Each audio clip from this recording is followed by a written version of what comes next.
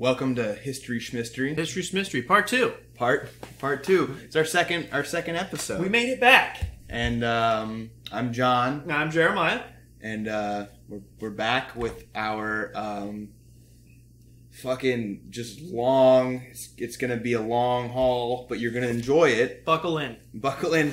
Uh, it should have been a multi-part uh, episode, but it's not. It's uh, Ibn Battuta, your boy Ibn Battuta. Dun dun. Um, yeah, if he- you thought Marco Polo's journey was long, this was three times as long. This was So, a long journey, and for a long time. I mean, he. 27, 29 years, 27 years? I don't know the exact. Yeah, I don't know. Less I- than 30, but pretty close to 30. so Jeremiah um, watched uh, documentaries, right? I did. And you read parts of the Rihla itself. I did. Okay. And I pretty much was I I bought the Rihla, a translation of it by um, a dude, uh, and I bought another book that's called The Adventures of Ibn Battuta by a guy named Ross E. Dunn, and he kind of like goes through the book and like gives background information and like has maps and stuff like that in there. Um, and I relied heavily on those two things. I didn't really look anywhere else um, because uh, you know this was It's two books. it was two books. It was a lot of a lot of reading, and I only went halfway through both of them, and it was a lot. Right, and it's only Um, been like three weeks since we did Mansa Musa, so I mean, that's he read two. You read two books in three weeks. That's I, pretty you know, I, I, Well- I read books every once in a Well, while. on top of everything else you do. I learned to read for this podcast. That's Right. I didn't know before, and I learned um, so we could do this. So thank you're welcome. Oh, You're and uh, before we get started, I did want to.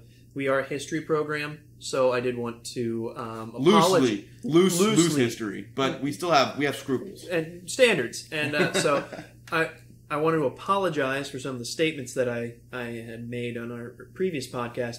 Um, you may not even remember or notice, um, but we we were talking about um, how relaxed the Mali Empire was and. That it would mirrored very much like the era of good feelings, which that is still true. But what I said was that um, that was pre War of 1812. That was very much the after the War of 1812, and uh, and I apologize for that. That was that was in, in, inaccurate historically. And then um, the tri- the Hajj, which actually is very important to clarify for this one. Um, some of the things I said were true about the Hajj, but it was not quite a full picture. Um, what is I, I do forget the place in Mecca that they go. What is that? You knew it last time. Um, they go to several different places. No, the Um, the black box. oh the Kaaba, the the Kaaba. The Kaaba. Okay, so what that I think that's how you is-. So what that is is um, basically in the origin how um, Islam came around is um, Abraham and Sarah couldn't have a kid, so Sarah got her handmaiden. This is a fast version. Uh, Sarah got her handmaiden to have a son with Abraham. Abraham and, and the handmaiden did. His name was Ishmael. Then Abraham and Sarah eventually did have a son. His name was Jacob. Mhm. And um, so Sarah then was jealous, kicked um, Ishmael and his mom out because you know she wanted her son to take over the Mhm. tribe, and so that's where uh, Judaism comes from is from Sarah's child. Islam comes from Ishmael's tribe. Which So- one was Isaac?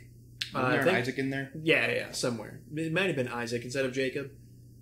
I'm not up on my Bi- my Right. biblical history. if you're looking for, just to clarify, if you're looking for, uh, you, you're there's way better sources to consult. About, Well, there, there will be a third episode. We'll clarify there. yeah, there you go. So we always have room to grow. Right. Um, Um, but anyway, I don't want to offend anybody's religious sensibilities. Right. So where the where this place comes from is um, Ishmael and his mom are traveling through the desert, and they're about to die.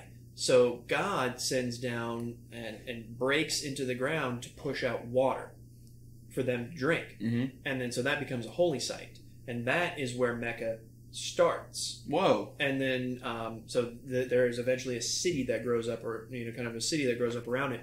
It became a kind of a, a religious hotspot, and a lot of people were, you know, before it was called the Hajj, many people were traveling there because you know they heard the story of you know this miracle that had happened in the middle of the desert, Yeah. and so a lot of people were coming, and so a lot of those people were still praying towards Jerusalem.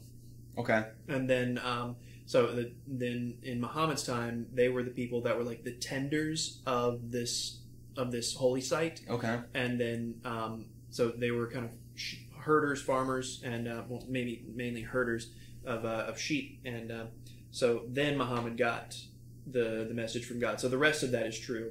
You know, they kicked out, came back, took over Mecca, but that is where the Kaaba comes from. Okay. That's why that that's why Mecca specifically is a holy spot because the the progeny, you know, or not the progeny, but the, the progenitor of their religion was gonna die. God intervened, made water. Okay.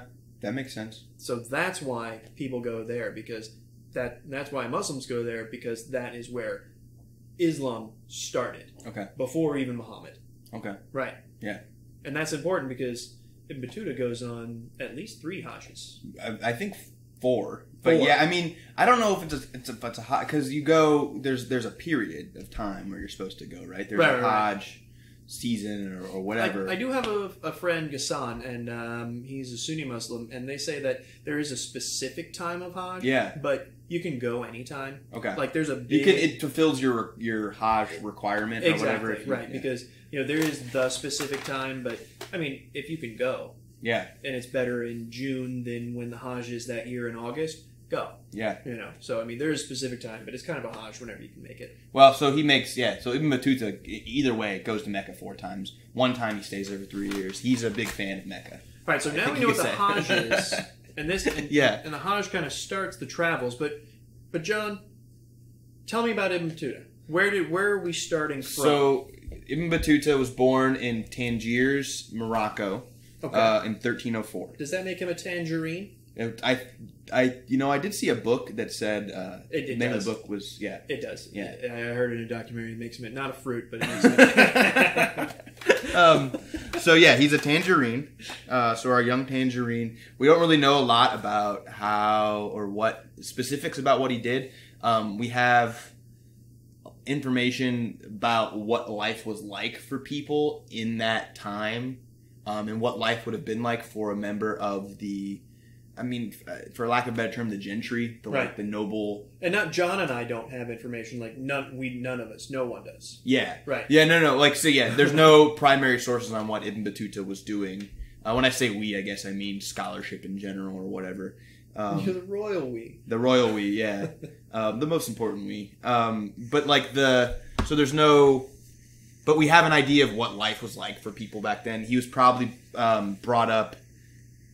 He- ends up becoming a qadi or a judge, a person who is like you know their job is to interpret the laws essentially um, based on Religious laws. yeah. Well, yeah, but it, at this time, the religious law and secular law, a- at least in the Dar al Islam, in terms of what, Kind of the same thing. yeah, it's Yeah, the yeah, same yeah.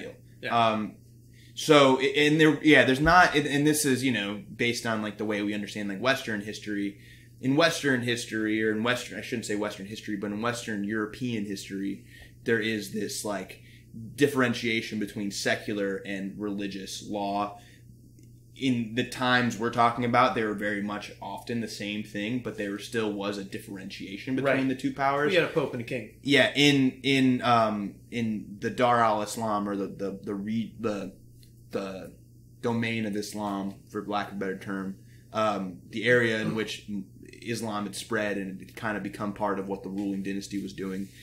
There wasn't a differentiation, If Right. you- there was a because they didn't have there wasn't, and and again like there's probably more to this than what I'm saying, but they didn't have like um, a pope or something like that, right? Right. No. So you you the the religious structure was blended with the governing structure, and they all kind of work together. So, anyways, he and this in this position as a Qadi, by the way, is going to come into a lot of uh, use in the future for him, Oh, yeah. as you'll see. Um, but like, so he is uh, he is a uh, he grows up in this like family that's like a, it's a it's a family that's been around for a long time. They're a well known family, um, and that he's had other members of his family go on to be judges, and he, he comes from a, a line of, of judges and people involved in governing and stuff. And so he um, his education probably looks a lot like he goes and he goes to a mosque. They didn't have any madrasas in, in Tangiers at the time, from what I understand.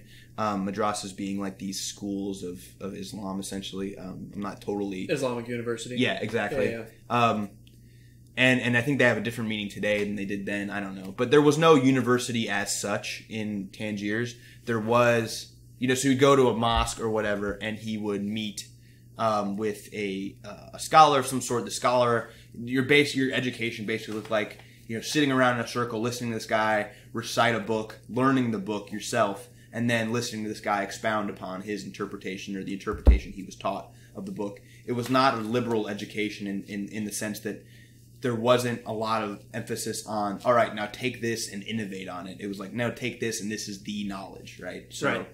the knowledge that he got was the knowledge. There there what there might be other knowledge in the world but it wasn't his job to um, expound on it in any other way than what he'd already learned Well, right. Well, I mean, the, the the Quran is specifically the recitation. I mean, that's that's what it translates as. And um, I mean, it was a recess, re, recitation from the angel Gabriel. So Yeah. you didn't you didn't add on Yeah. to that. I mean, that's God's word. You- Yeah. You, don't mess with that. Unchanged, unbroken. Yeah, and the, then that moves on, and that that kind of tradition, I guess, like probably went on to influence the way in which they studied other texts as well, as Right. the ways in which these scholars studied other texts as well.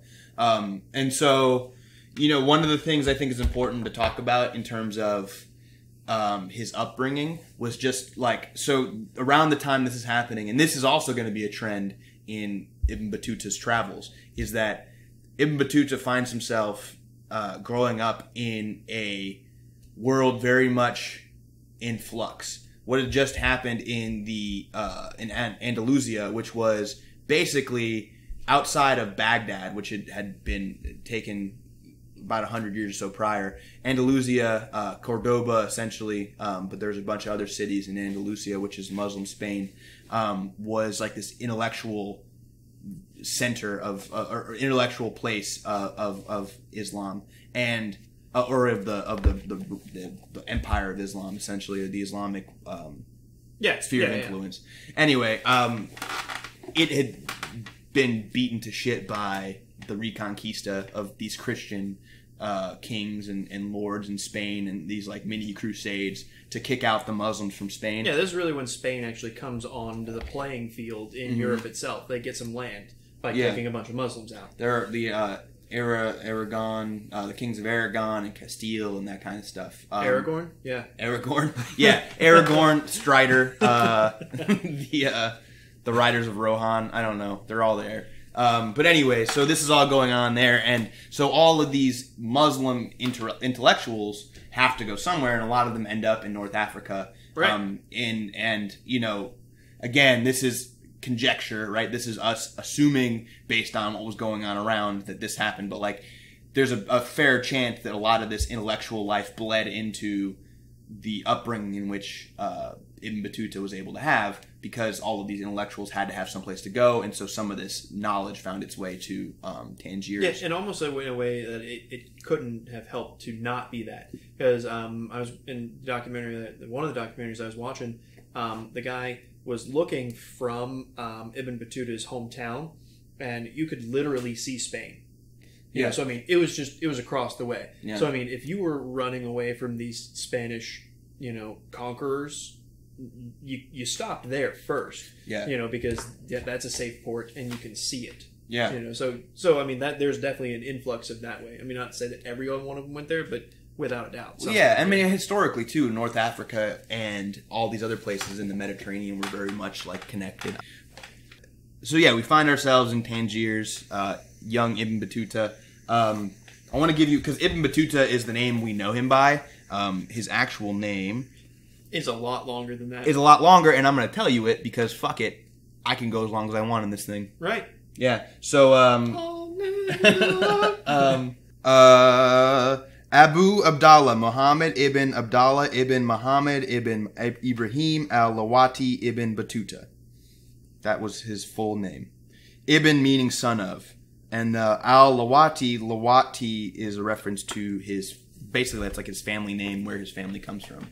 Um, you'll see um, al Maghrib, um, al Andalus, uh, like I don't, I don't know about al Andalus, but you'll see these little al place names after people's names, and that's I never knew that, but from what I understand from the from what I've read, it's like that's a reference to where your family comes from.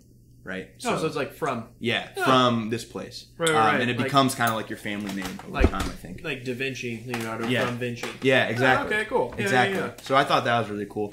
And yeah, another. I mean, one of the cool things about reading this stuff has been, you know, if I can digress a little bit, which I can because it's our fucking podcast. Mystery. um, one of the cool things has been just like all this stuff I just didn't know. Like I never knew like Ibn meant son of, and now I know it. You know what I mean? Right. Like it's just all these little things that I, I wasn't aware of um, that I've learned over I the really course of reading this guy's book. how together Islam really had their whole empire going on. Yeah, well, I mean, and you know, one of the things I want to clarify is there was a point where there was an is- Islamic caliphate that was united. This is past that point. At this Right. point, we have various Islamic empires, Yeah, yeah, like yeah. nation, not not nation states in the sense that they weren't really created over ethnic lines, but you had. Um, like domains that were fighting each other, a Right. king of a domain, and they all happened to be Islamic, and so then they had this common cultural strain going through them. Right. But yeah, like so you had the Mam, and we'll talk about it. You had the the, the Mamluks in in uh, Egypt and Syria. You have the um, the Mongols, like the Mongol uh, descendants or whatever, uh, Khans and Ilkhans, and uh, they were there. There's the Golden Horde up in in central uh, Central Asia. I want to say like. Um, there's all these like little things. They're all Islamic, but they're not all part of the same Islamic empire. Right. That's no longer the case. Um, but anyways, so back to Ibn Battuta's beginnings. Um, he, uh, So let's start over. yeah. So Ibn Battuta, born 1304, has a much longer name than what we actually refer to him as because it would take a long time to say it every time we need to say it. Um, he grows up in this educated class in uh, in uh, Tangiers, which, like any other place in this time period, and even today, there is a class of people who are educated, and there's a class of people, a much bigger class of people who are not, who we don't really know a lot about, Right. Because they didn't write, you know what I mean? And so that's Hard to write your story. yeah, exactly. So Ibn Battuta is ve- is very much um, a uh, an outlier in terms of um, the broader population, but he is like um, very much a part of a, of a connected um, commonality of uh, upper class people throughout the, the Dar al Islam. because the scholars in it, like it's it's no longer one central Islamic empire, but everyone is Muslim inside of you know this this long stretch of land. That because he is a scholar of this, it you know his his reputation in that literally precedes him wherever Yeah. he goes, and so he's not just a commoner who's you know going sightseeing. This is a man who has clout. He's not royalty, you know. So, but he is a man of note. You know, even before Yeah. he goes anywhere, he's already a man of note. Yeah, and then that's gonna again like that whole him being a Qadi, this judge is gonna really improve his abilities to travel, and it's really you know you wonder how you would finance a. a, a a trip like this and like today it'd be like oh you have to have a shit ton of money to spend on airfare and Yeah. stuff and like the University of Florida is paying for you to do this. Or yeah, whatever. yeah. basically this guy gets it because he is a respected dude and he's useful to all rulers he goes and sees And he as we'll see, people are just throwing money at him Yeah. the whole time. Yeah. And so he has, he kind of has a, a job that he can do anywhere he goes. And so, like, it makes it him able to, Right. you know, have an income wherever he ends up and be able to finance his travels. Um, so he leaves from Morocco ostensibly to go on the Hajj, which is what he does. But um, you were going to see it, it turns into a much bigger thing than that. Um, he takes. Um, oh, one of the other things I want to mention: he is a Sunni Muslim. Sunnis being the the much bigger portion of um, of Muslims, Sunnis, and then Shia being the Shia being the min- min- minority. Um, specifically, he's uh, a member of the the Maliki school of like law. Essentially, there's four different schools of law in Islam, or or it might just be in Sunni Islam. I'm not really sure, but Or at least the time. Yeah. yeah, at the time, and he's part of this Maliki school, which is going to come into play when he gets to like Egypt and stuff, because those are both those are also Maliki influ- influenced places. Um, and he's he's really interested in Sufism, and Sufism is like mystical. It gets it gets termed as mystical Islam, but one of the, what I read is like basically Sufism is the idea that like you can um, you can reach God by your own efforts essentially like you personally can have a connection with god Right. and um, you know through the the quran and through um, religious like devotion but like you know it's it's it's the it's the thing that inspires people to be aesthetics right it's the thing that people aspire Or even uh, later on, he meets up with whirling dervishes. yeah Which is another way that they were trying to do that. Exactly, and it's like it's like all about this personal, making this personal connection with God, and it's less. Um, I, I can't. I don't know. I, I don't not- know. It's frowned upon Yeah. by by general Islam. So yeah, and at the end of the day, these are these are the guys who are yeah they're your um, They're your outliers. mystics. Yeah. Yeah, Yeah, mystics yeah. is the term we throw around a lot. Right. They're not. They they um, they look to be less a part of the society of men and more of a part of of the divine. I suppose would be a good way to define it. And if I'm getting that wrong, I apologize to anybody who subscribes to Sufism. You know, or Right. whatever. um, but uh, so he uh, so his his journey is going to be this kind of like um, he's going to leave from well i'll just tell you. I'm, I'm just going to go with the narrative. So he leaves from um, tangiers and he stops at all these places in the maghreb the maghreb being the um, the basically north africa before egypt. So the maghreb is like uh, your modern states uh, or your modern countries of uh, morocco algeria tunisia um, i think that kind of stuff. Yes. uh, and he goes through there and he reaches he joins a hijaz caravan um, and because it's very dangerous to travel by yourself Right. And the Um, Sultan of the of Arabia at the time um, financed those. Yeah. he so wanted people to come. yeah exactly and that's the other thing I, I, I find really interesting about this whole thing is there's this whole strain of like charity charity like these rulers are there's always a place for poor pilgrims to get food and um, sustenance and like find some place to travel and like get at least in pursuit of the of the hajj Right. there's this like infrastructure to if you don't have the money it's it's probably not easy but it's it's available to you You Well, know, like we said in the podcast last time, of the five pillars, one of them being charity, the other one being one of the other ones being the Hajj. The charity specifically was also um, charity in general, but very much specifically to travelers. yeah Yeah, that makes sense yeah, yeah. um and he definitely and and you know uh, battuta very much like receives that like you can see that in his travels right like people really dig the fact that he's been a lot of different places and want and, and want to help him right. Um, so he goes his first like major stop, I guess that we that I, I recognized, I guess, is Alexandria. Um, It's a good place. yeah, it's, it's he really liked it. He was very impressed. He saw the the lighthouse of Alexandria, uh, which had fallen into disrepair by that time, but still pretty impressive that it was around in the 1300s. Um, uh, the pillar of columns, which is uh, Pompey's pillar. Um, so he uh, he saw these like kind of like it's just really interesting this this connection between the ancient um, Roman world and the ancient Greek world and this modern or more this medieval uh, Moroccan traveler. I don't know. I thought that was an interesting. Um, what's the word? Contrast, you know? Right. And uh, and the fact that those things are still like he's traveling traveling in the footsteps of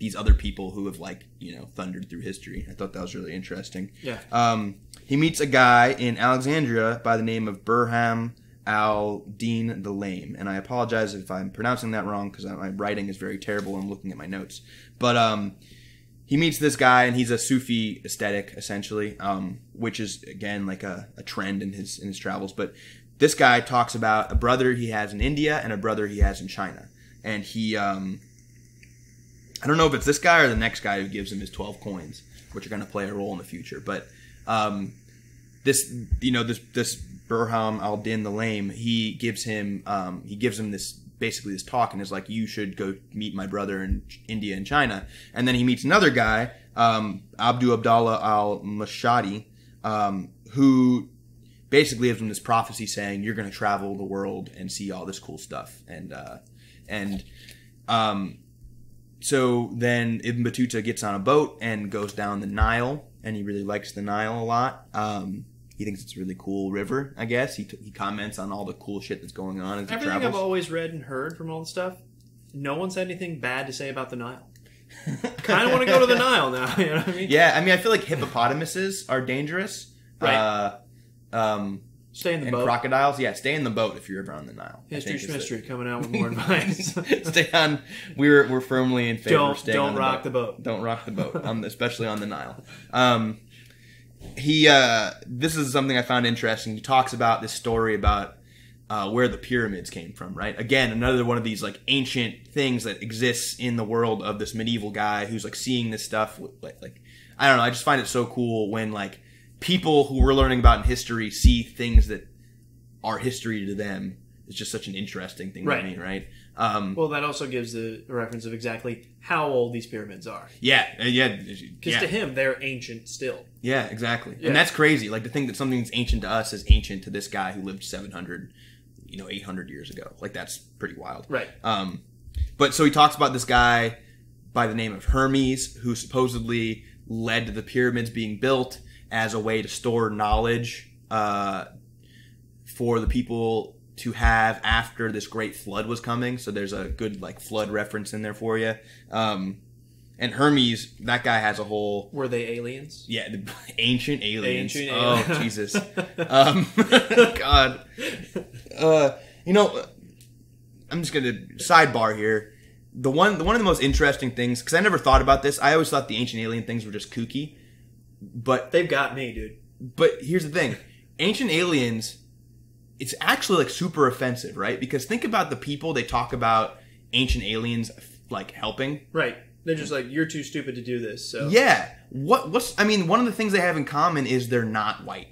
Right. Like no one ever blamed ancient aliens for Rome, No. right? Or Greece, No. or like I mean maybe Stonehenge, but even Stonehenge, I feel like they pass off as like, oh yeah, they were just able to do this thing. You know what I mean? And like the historians are like, well, they didn't write it down, and the local people are like, no, we, we did write it down. It's right here, and they're like, yeah, but you didn't write it down. 'cause It's Yeah. not in English. Yeah. And we're not going to take the time to read it. And so like you get, I, I originally listened to a podcast about the Easter Islands. Uh-huh. And the guy who went there and like saw the big stone heads and it's like, oh, these are aliens from you know from fucking Argentina or something. Right, right. And it's like, no, dude, like people just made these. Yeah, like we, we know how they made them.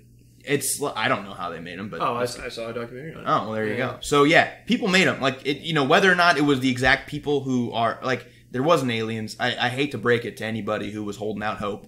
There's no aliens. It's just a racist way so that people can say that people who aren't white didn't do what they did. You know how you make a pyramid, and I heard this on a podcast too. Shout out to the Lesser Bonapartes. It's not slaves. Um, well, I I mean, but like think about like like the way a pyramid like because they're like oh there's pyramids in you know the Yucatan and there's pyramids in Egypt. They must be like no dude. If you've ever like taken a pile of dirt and like thrown it on the ground and then put more dirt on top of it, guess what naturally forms? A, a pyramid. A pyramid. Yeah, it's just the way shit falls. like it's gravity. Yeah. Um, They're so it just makes sense. we want to build a big building. What's the best shape?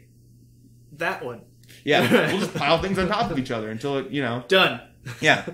Um, but yeah, I, I well, we could go into this too. The the not the pyramids thing. It's like uh, they they have like these roller things. and They put water in front of them. And Yeah. like yeah, Yeah, yeah. it's like a really cool. Yeah, it wasn't slave labor either. Yeah, it because was they like have it well documented that it was um, you had to give like so many months of service each year to the pharaoh. yeah, exactly. as- so you just conscripted all these people to go work. Yeah. Yeah. I mean it's slave labor in the sense that you couldn't say no, but like Right. not in the sense that that was your. That's all you did Yeah, ever in your life. Yeah. No, no, no. You had a family. You went home. Yeah. Was- yeah.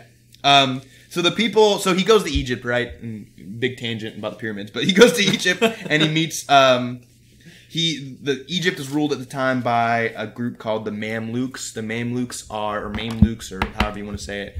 The Mamluks are a um, originally Turkish slaves who were hired by the sultans of Egypt as bodyguards and as an army. They rose up and they end up taking over Egypt, becoming the ruling class. And the Mamluks are cool. Um, Don't give your enemies enemies weapons. yeah, I mean, slave armies have always been confused. Like, first of all, like, yeah, dude, like, someone who you're making a slave is gonna be pissed off at you. Like, Right. especially if you took them from their house. Right. Like, yeah, in what world is it is it a smart idea to be Happened like, to the Romans. They're like, oh, the Germans. Yeah, you, all of you are in our army now. yeah, Okay. yeah, hey, oh, now we have weapons? Yeah, fuck you. We're Yeah. gonna do what we want. Oh, so how do you use all, all of your Yeah. weapons? Okay, cool. Now we're gonna kill you. Right, done. Yeah, so good for the Mamluks for fucking putting it to the man, you know, for real.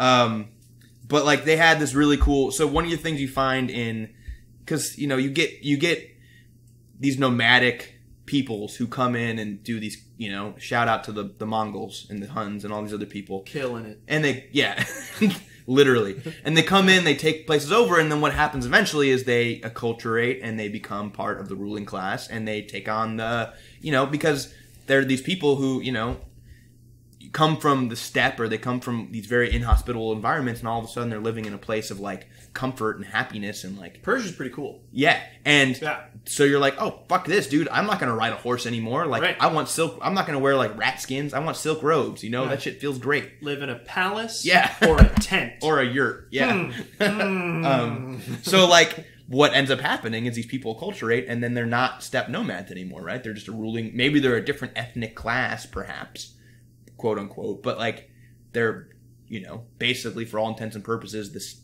the the same people who they displaced right Right. um, the Mamluks, though, make a conscious effort to like almost like uh, just stay badass by continuing to import Turkish slaves. So they're Turkish nomadic former slaves who continue to import Turkish slaves to make part of the ruling class. Right. And so then they continuously have this stream of, you know, badasses from the steppes Right. who are coming in and are still hard asses and then like and who are completely loyal because they just bought them out out of slavery, gave them freedom and a lot of money. exactly and so you have this You have my support if you do that. yeah, and so um, the Mamluks avoid, and they very much stay separate too from the Egyptian populace. Right. The Egyptian populace and the Mamluks are two separate groups, and uh, so it's like this aloof upper class. But anyway, so they're the ones, and he really, uh, I, don't, All I didn't so, write down. So where's Ibn right now? Ibn's in Cairo. I'm sorry, I.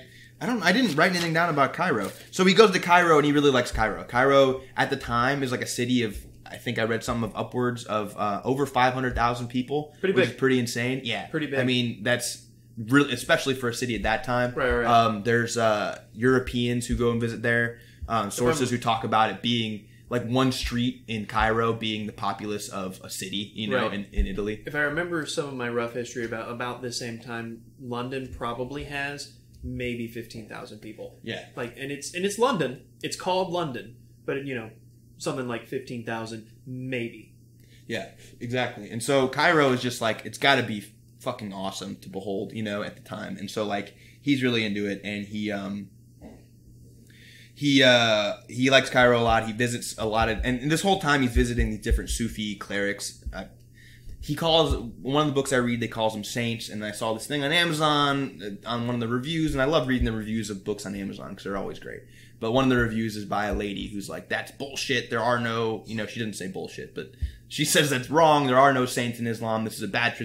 So I don't know if he means if in the translation or if it's just a reference to these people being holy men. I, I think that's what it is. The, they, These they- revered The guys. person probably wasn't trying to be offensive. You Mhm. know, saints. Yeah. In his in his vocabulary was a was a nice word.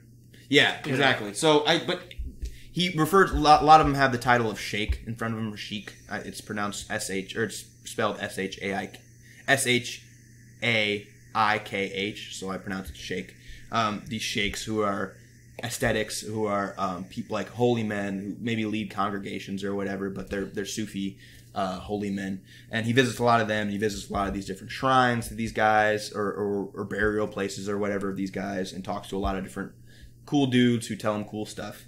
Um, and in Cairo, he does a little bit of learning. I think there's um, there's a lot of universities or there's a lot of learning going on there. Uh, again, you know, benefiting from Yeah.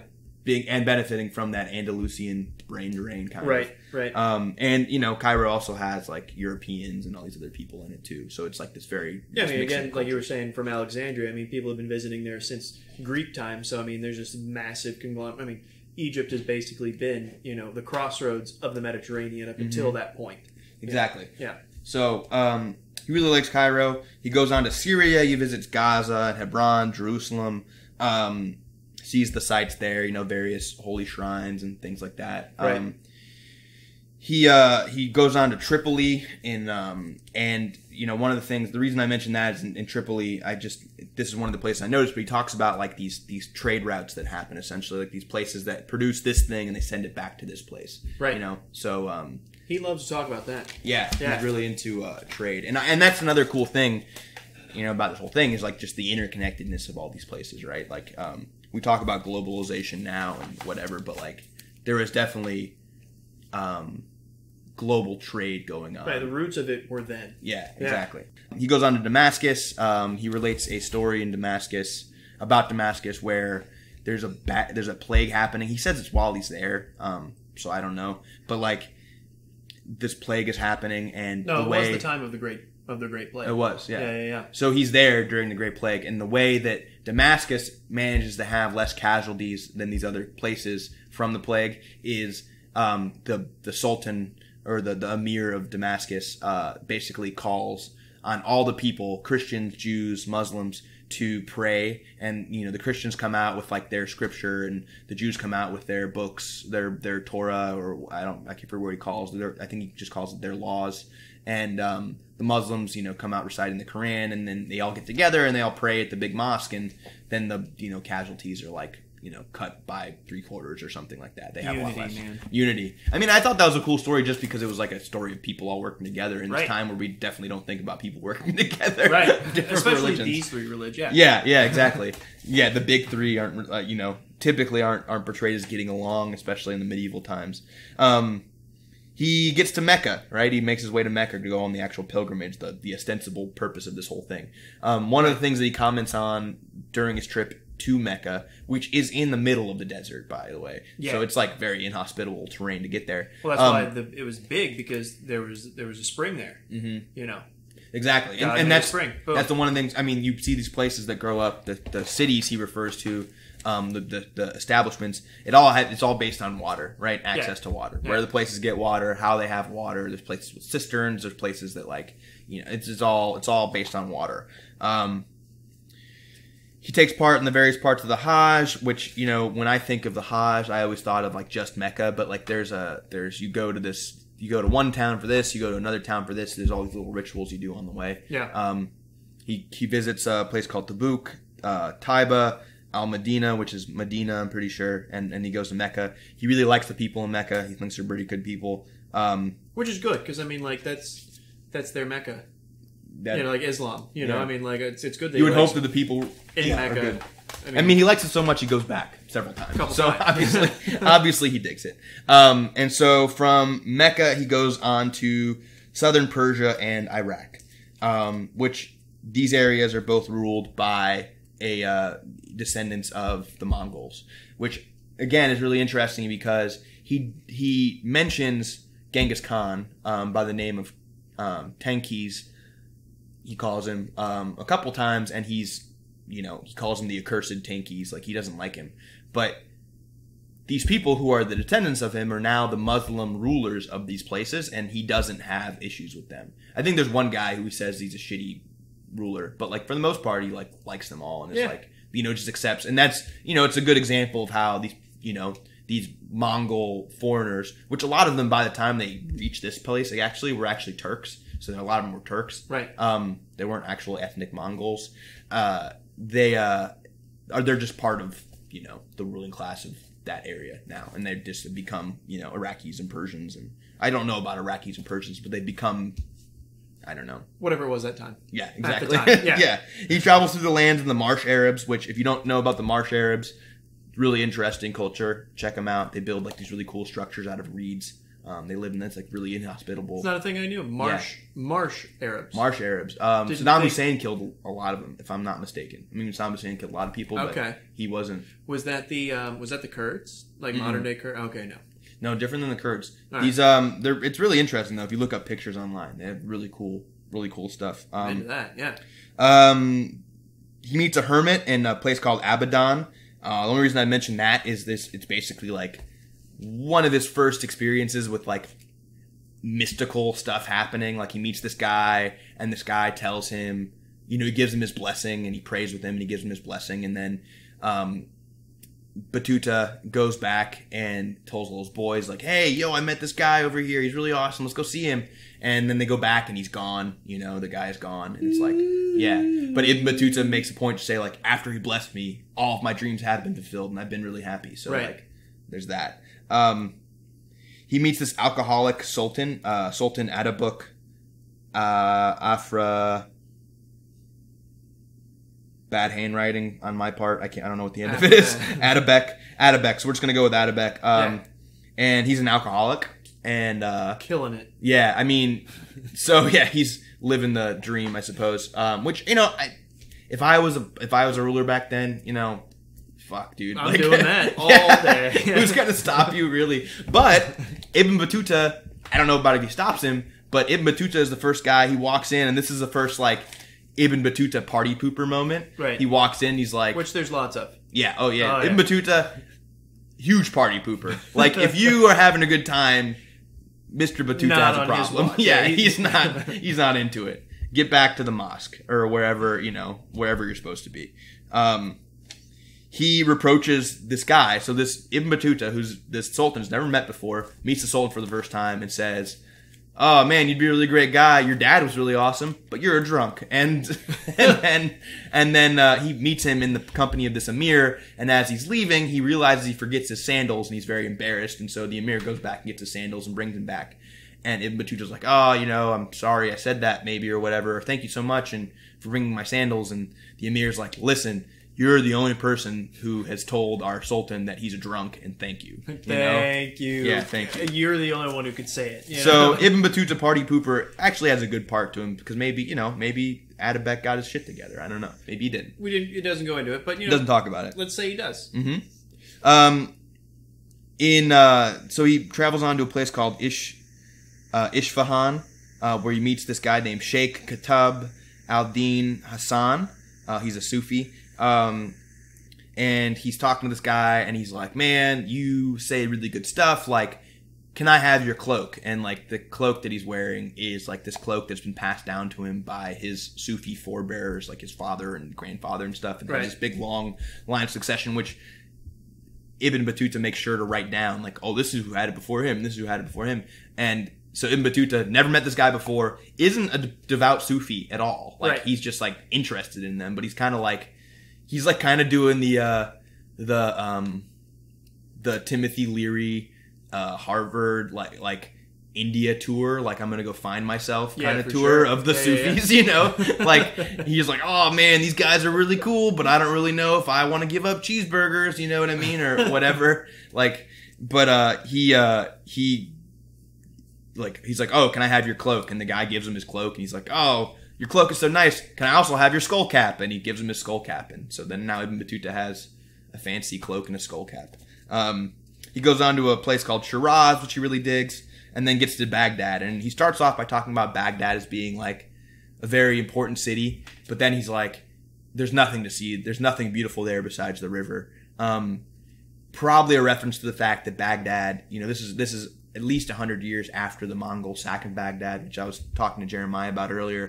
Um, one of the things I feel like I read, I played a lot of Age of Empires as a kid, Right. and there's a there's a um, a campaign where you're the Mongols, and I'm pretty sure you take Baghdad. And there's this this part that always sticks out to me that talks about um, the rivers running red with blood and uh, and black with ink from all the books that the Mongols threw into the river. Good lord. Um, yeah, yeah, yeah. So And you were saying you were telling me earlier that like all the buildings were kind of just destroyed too. Which, if you think about that, that took months, maybe even years to do. Because I mean, they they built these things out of sandstone, and like they, these were impressive things. Baghdad was a massive city. You know, so for them to walk in or come in and just try and destroy this city, it wasn't just you know setting stuff on fire because they had wood buildings. Yeah. You know, they had shifts. You know, guys took breaks and then came back with a hammer and just kept pounding these things away. You know, like to they, give you an idea, and like, and I don't know as much about the destroy yeah, this. I don't know about, as much about the actual destruction of the city, but again, side note and uh, and podcast shout out Dan Carlin has a really good uh, uh, series on the Khans, and in one of them he describes the way in which they would go about um, killing people. Right, so like what you do is you you know this town that that that doesn't that doesn't immediately submit to you. You go in and you serve, you you assign one guy to ten people and say you're going to cut off all the heads of these people and one guy out of your army for each ten people, and that's how you kill thousands of people in a Efficiently. place. Yeah, is just you just delegate responsibility. God. Yeah, it's insane. I mean the the Mongols. It's yeah, it's fucking crazy. Um, efficient. still, I mean like yeah, it's it's yeah, and how yeah I don't know. I think that that's. I mean, I haven't really any, heard anybody else described as a horde. You know, and that's That's probably why. You know, And I was reading horde actually doesn't mean as like we have it's like a scary term now, right? But horde is which like comes a from a large group of. Like, I think so, Like yeah, a- something an amount of people. I think so. Yeah, yeah, yeah. It's like it's very it's a very like uh uh Yeah, but I'm not. I don't want. I don't chill want, term. I don't want to face like a, a horde of frogs. Yeah, no, no, yeah. Now her horde's a bad thing. Right. Thanks, Mongols. Thanks. You ruined horde for everybody. Um, but yeah, the Mongols fucked Baghdad up, and so the since Baghdad is, is all jacked up now, um, it's not the place it was going to be, or the, it's not the place that it was, you know, hundred years ago, or during the uh, like the the high point of the Islamic Caliphate, which is like I want to say the 800s, 900s, um, AD, a, a, ACE, however you want to say it. Um, but uh, so the place is now run by Khans, right? Who are these descendants of Genghis Khan or the the Khan, the Khan's people who came there, and uh, but you know, again, it's like this. All right, well, you know, now they're the guys, so like, and they're Muslims, so you know, the people who did this are a separate group than the people when which they're actually not, but like, there's there's no animosity. It doesn't sound like on the part of Ibn Battuta, at least, towards the people who are now ruling this place. He kind of just accepts that they're like now the rulers. Right. Um, he's not like oh the you know the usurpers or anything. They're just like they're they're the people now. Well, and they're the people that came in and tore Baghdad up. I'm not going to run in waving a flag telling them how bad they are. either. Yeah, that's a good point too. You probably don't want to talk shit. Yeah. Um, um, and then so he goes through Baghdad, and after Baghdad, he goes back to Mecca for three years, and then he spent three years in Mecca. And in that time, he you know studies religion, and he uh, is basically like It's a good place to probably religion. teaches some classes, maybe I don't know. yeah. Probably, yeah. Um, works on his book. I, he actually doesn't work on his book. No. didn't, in, did we talk about the fact that like I don't think we mentioned the fact that this is he doesn't write this book. This No. is a book that is written by a guy named Right, right, right. Uh, Ibn Juzay, um, who is an Andalusian scholar who uh, Ibn Battuta later on relates his story too, under the direction of the Sultan of Morocco. Um, Yeah, so even in the Rihla, there's a lot of flowery poetry Mm-hmm. that he wanted to put in there. Not Battuta, uh, Juzay Okay. wanted to put in there. So like, there's all this poetry about stuff, and all of the poetry stuff is um, Juzay's in imagination in his own head writing that. yeah. Yeah, So um, it's like um, when uh, yeah, like a politician today writes a book, but someone else writes it for them. and they Ghostwriter. kinda just- yeah, yeah, yeah. yeah. Ibn Juzay, ghostwriter. Um, who that? Uh, yeah, that guy. I was reading. He's like, I don't know if. I think he only lived into his 30s though. It's actually kind of depressing. Like I'm pretty sure he Ibn Juzay died pretty soon after he did this. His one claim to fame was writing Was down writing down what someone else did. So awesome story. Which you know, whatever. I mean, you gotta you gotta do what you gotta do. Right. Um. So then he travels after he spent three years in Mecca. You know, like getting in, getting getting right with uh with himself and finding himself or whatever. I don't know. getting right with God. Getting right with God. Yeah. He Yeah. um he goes and on a tour of basically the Arabian Sea of uh, East Arabia or Southern Arabia, East Africa, and the Arabian Gulf. Uh, he visits Yemen. Um, he meets a, a, he goes to a place called Adan where there's a group of Indian merchants, like a merchant's quarter almost in Adan, which I thought was interesting. Again, like that globalization thing, very Right. much like kind of happening. Um, at least intra-Asian, you know. picks Um, up picks up a Yemeni confectioner. Oh yeah, so that's going to come into play play later. Yeah, yeah, yeah. He doesn't talk about that. Right. Yeah, but um, yeah, but it comes must- into play later. He Yeah. picks up a uh, a guy who makes candies. Yeah, Candies and and and sweets. Candy is dandy, and so he picks up this confectioner, which he doesn't talk about. And this other thing is like, okay, so this may or may not have already happened, and the reason why I don't mention it is because Ibn Battuta eh, or Ibn ja, uh, Juzay spends like a sentence on saying it, but like he's gotten married once, I think, already. Right. So, um, and he's going to get married quite a few times after this. Yes. Um, and he picks up various slaves, uh, both boys and girls. Concubines. Yeah. Um, yeah, and so there's he's very much a man of his time, quote unquote. You know, which is the thing we say whenever people do shit that's like, Which, for as prudish as he is towards other people, I mean, like maybe like the multiple marriages thing is okay in as a uh, according to his law. I don't think the concubine thing would be. I right? think it's chill though. I think it's chill because, I mean, I don't know. This is con- again conjecture. Like I don't, I don't because it's know. a masculine society. Yeah, I mean it's patriarchy, right? Right, you know, for like, and uh, don't get me on feminism, bro. I will go off Let's on some do feminism, this. dude. Yeah, killing it. Yeah, uh, History Shmistory, feminism podcast. Yeah, we Uh, are. coming soon. Ve- Definitely pro feminism. he didn't like the sailors he was with. He was on this boat for a long period of time. He didn't really like the sailors. They uh, slaughtered food the wrong way, and uh, so he had to survive. Uh, they weren't they weren't killing the the meat the right way. Um, so he ate uh, dried dates and fish for most of the trip. Um, and he basically island hops around these little areas in, in the co- off the coast of Africa and, and um, southern Arabia. Um, he so there's this there's this part where he's on the boat and they're in an area where they're trying to land but they can't land and, and he either gets pissed off and is just like drop me off here or something like that you know like you do when you're on a bus and they miss your stop and they don't Right, they won't let stop me you. off. Just like I'm I'm done with this and so he gets and, off And I heard in um, another documentary, this one guy was giving a whole lecture on Ibn Battuta. Unfortunately for him, he does a lot of sailing, and it's unfortunate because he actually hated sailing. Mhm. He got sick all the time on boats. You know, he was just easily, you know, uh, got seasick. And uh, but unfortunately for for where he was going with his travels, had to go by boat. it's a bummer Yeah. it's gotta be it's gotta suck if you don't like sailing I'm not a big boat person either um, Right. which is weird considering the place we live but like Florida. Yeah, but um, in like coastal Florida, you know, Right. Like, uh, I'm not huge on them, so I don't go on them. But I don't like again, going to the beach, and I mean it's it's twenty minutes away depending on where you're going. You know. Mm-hmm. yeah, exactly. Um, but anyway, Ibn Battuta doesn't like boats. He especially doesn't like the sailors he's with. So he gets off the boat. He's like, "Fuck you guys," and uh, he brings this guy with him who he hires as a guide. The guide ends up like trying to kill him and his friend who he's with. Um, Bad choice. Yeah, but he, you know, they don't really have another choice, I suppose, so they keep him. But Ibn Battuta's solution is, I'm just gonna like show this guy that I have a spear that I'll kill him with if he tries to kill me.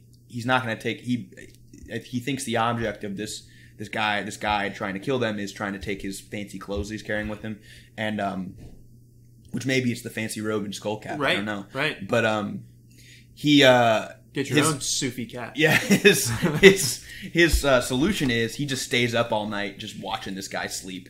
Um, Probably looking like- kind of crazy the whole yeah. time. Oh yeah, dude. He's I don't know. You know, good on Ibn Battuta for being able to be up for like 24 hours in a row without the use of stimulants. While you know on I mean? the move in the desert. Yeah, you exactly. know, Um, in the Middle East. he was least. really really committed.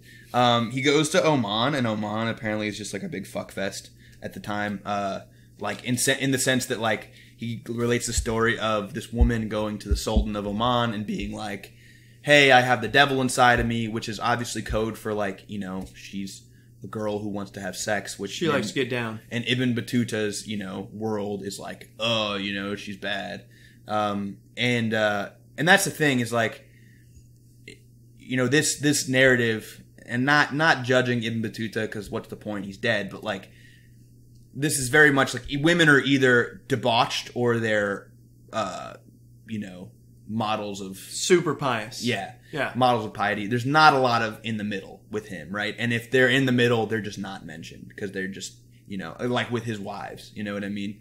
Um, so, you know, he him him seeing this, with whether or not he saw it or not, like him seeing this is like, oh, the women in this place just they, you know, whenever they feel the need, they go to the sultan and tell them, I, you know, I want to be carnal, and then they go off and be carnal with whoever they want, and the fathers and brothers can't kill them, like. And if they do, yeah, if they do, they're killed by the Sultan's men, which you know, again, like is really a problem for him. And so then he goes to Bahrain, and I guess because he's become, um, his his his his uh, scruples are so insulted by the uh, the the the sneaky guide and the people in Oman and those damn sailors. He goes back to Mecca to go spend some time. Um, He's got to regroup. Got to regroup and get his shit together. You yeah. know.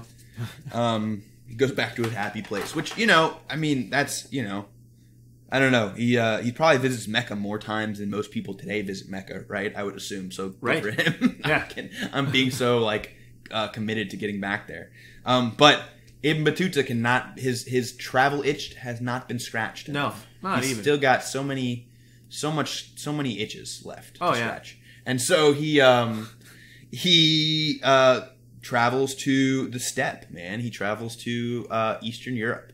Anatolia specifically. Anatolia being modern day uh, Turkey. Yeah. Um, so he almost gets on a ship that that he later finds out sinks. So it's like divine, you know, intervention, and he's like very happy about it. Um, he gets on a ship with the Genoese, which are Italians. They're, he calls them, you know, they're all Christians, and so, but he says they treat him very nicely, and you know, they don't even make him pay for his trip. So good for, I That's guess. pretty chill, Yeah. yeah. Genoese are good people. Good job on the Um, Italians.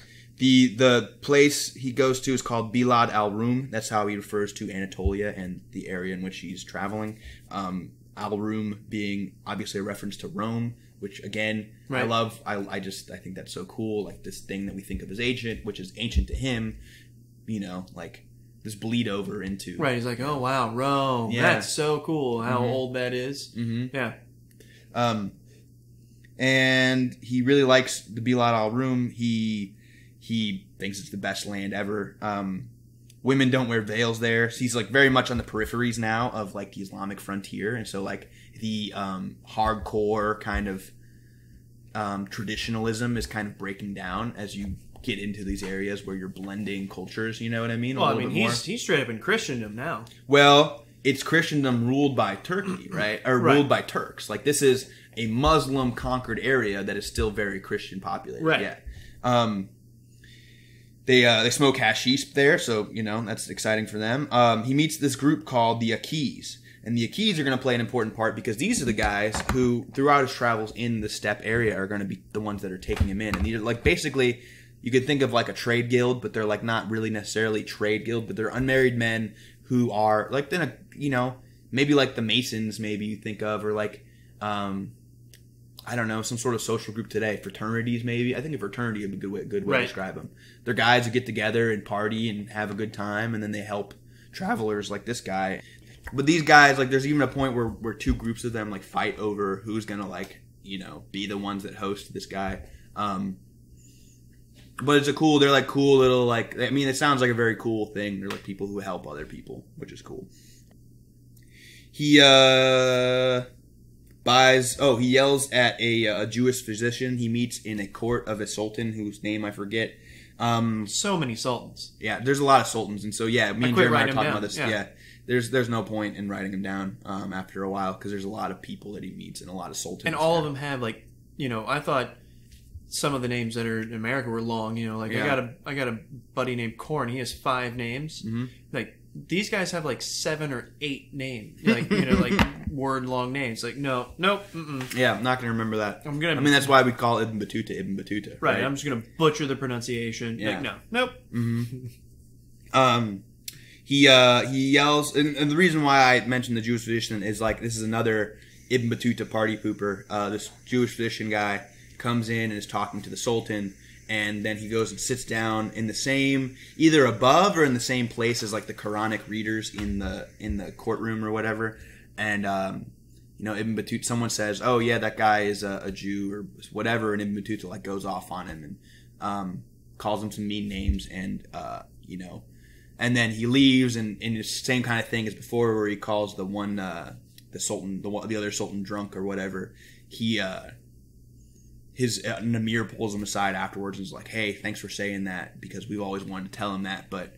You know, none of us have been able to. You know, Right. um, and the the writer that I, I read um, in uh, the book The Adventures of Ibn Battuta by uh, Ross E. Dunn, he says this is probably less a um, anti, and I don't actually I don't know if it was him or if it was the other book I read, but it was less an anti-Semitic thing and probably more so like just like a you're not respecting the Quranic reader kind of Right, thing. unless you're one of the Quranic readers, don't go over there and sit with them. Yeah, exactly. So again, like Ibn Battuta, party pooping, um, all over the place. Uh, he then buys a slave, you know, as you do, and uh, and at this point, I don't know if he's bought other slaves yet, but this will be a thing. He buys quite a few slaves, and he comes into um, possession of slaves, and it's just like again like a one sentence thing, you know. It's it's whatever Right. uh, for him.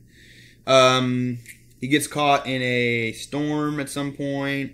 Um, oh, he gets caught in a snowstorm. Oh yeah, this is actually an interesting story. So him and his group they leave from a place called Bursa and they're traveling on to somewhere else.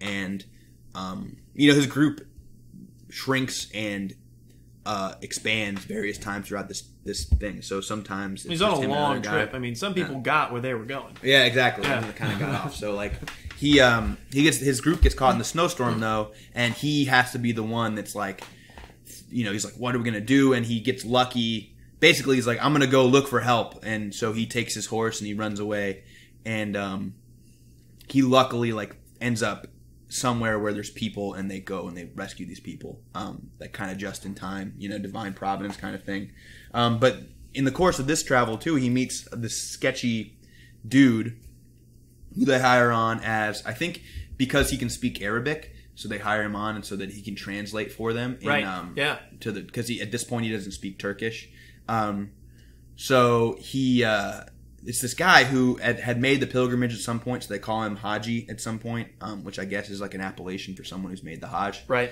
Um, and uh, they make a joke out of like how much money this guy regularly steals from them because apparently he's a big sketchball. like, keeps stealing money from people in the group, and they're just like, "Yeah, it's hot." You know, it's like, how much money you gonna? Yeah, how much money you gonna steal from us today? In fact, I think is the actual thing. And like he does stuff like they stay with his sister, the, the this guy's sister, and um, they you know offer to pay her for letting them stay with him, and the the guy, the pilgrim guy, is like.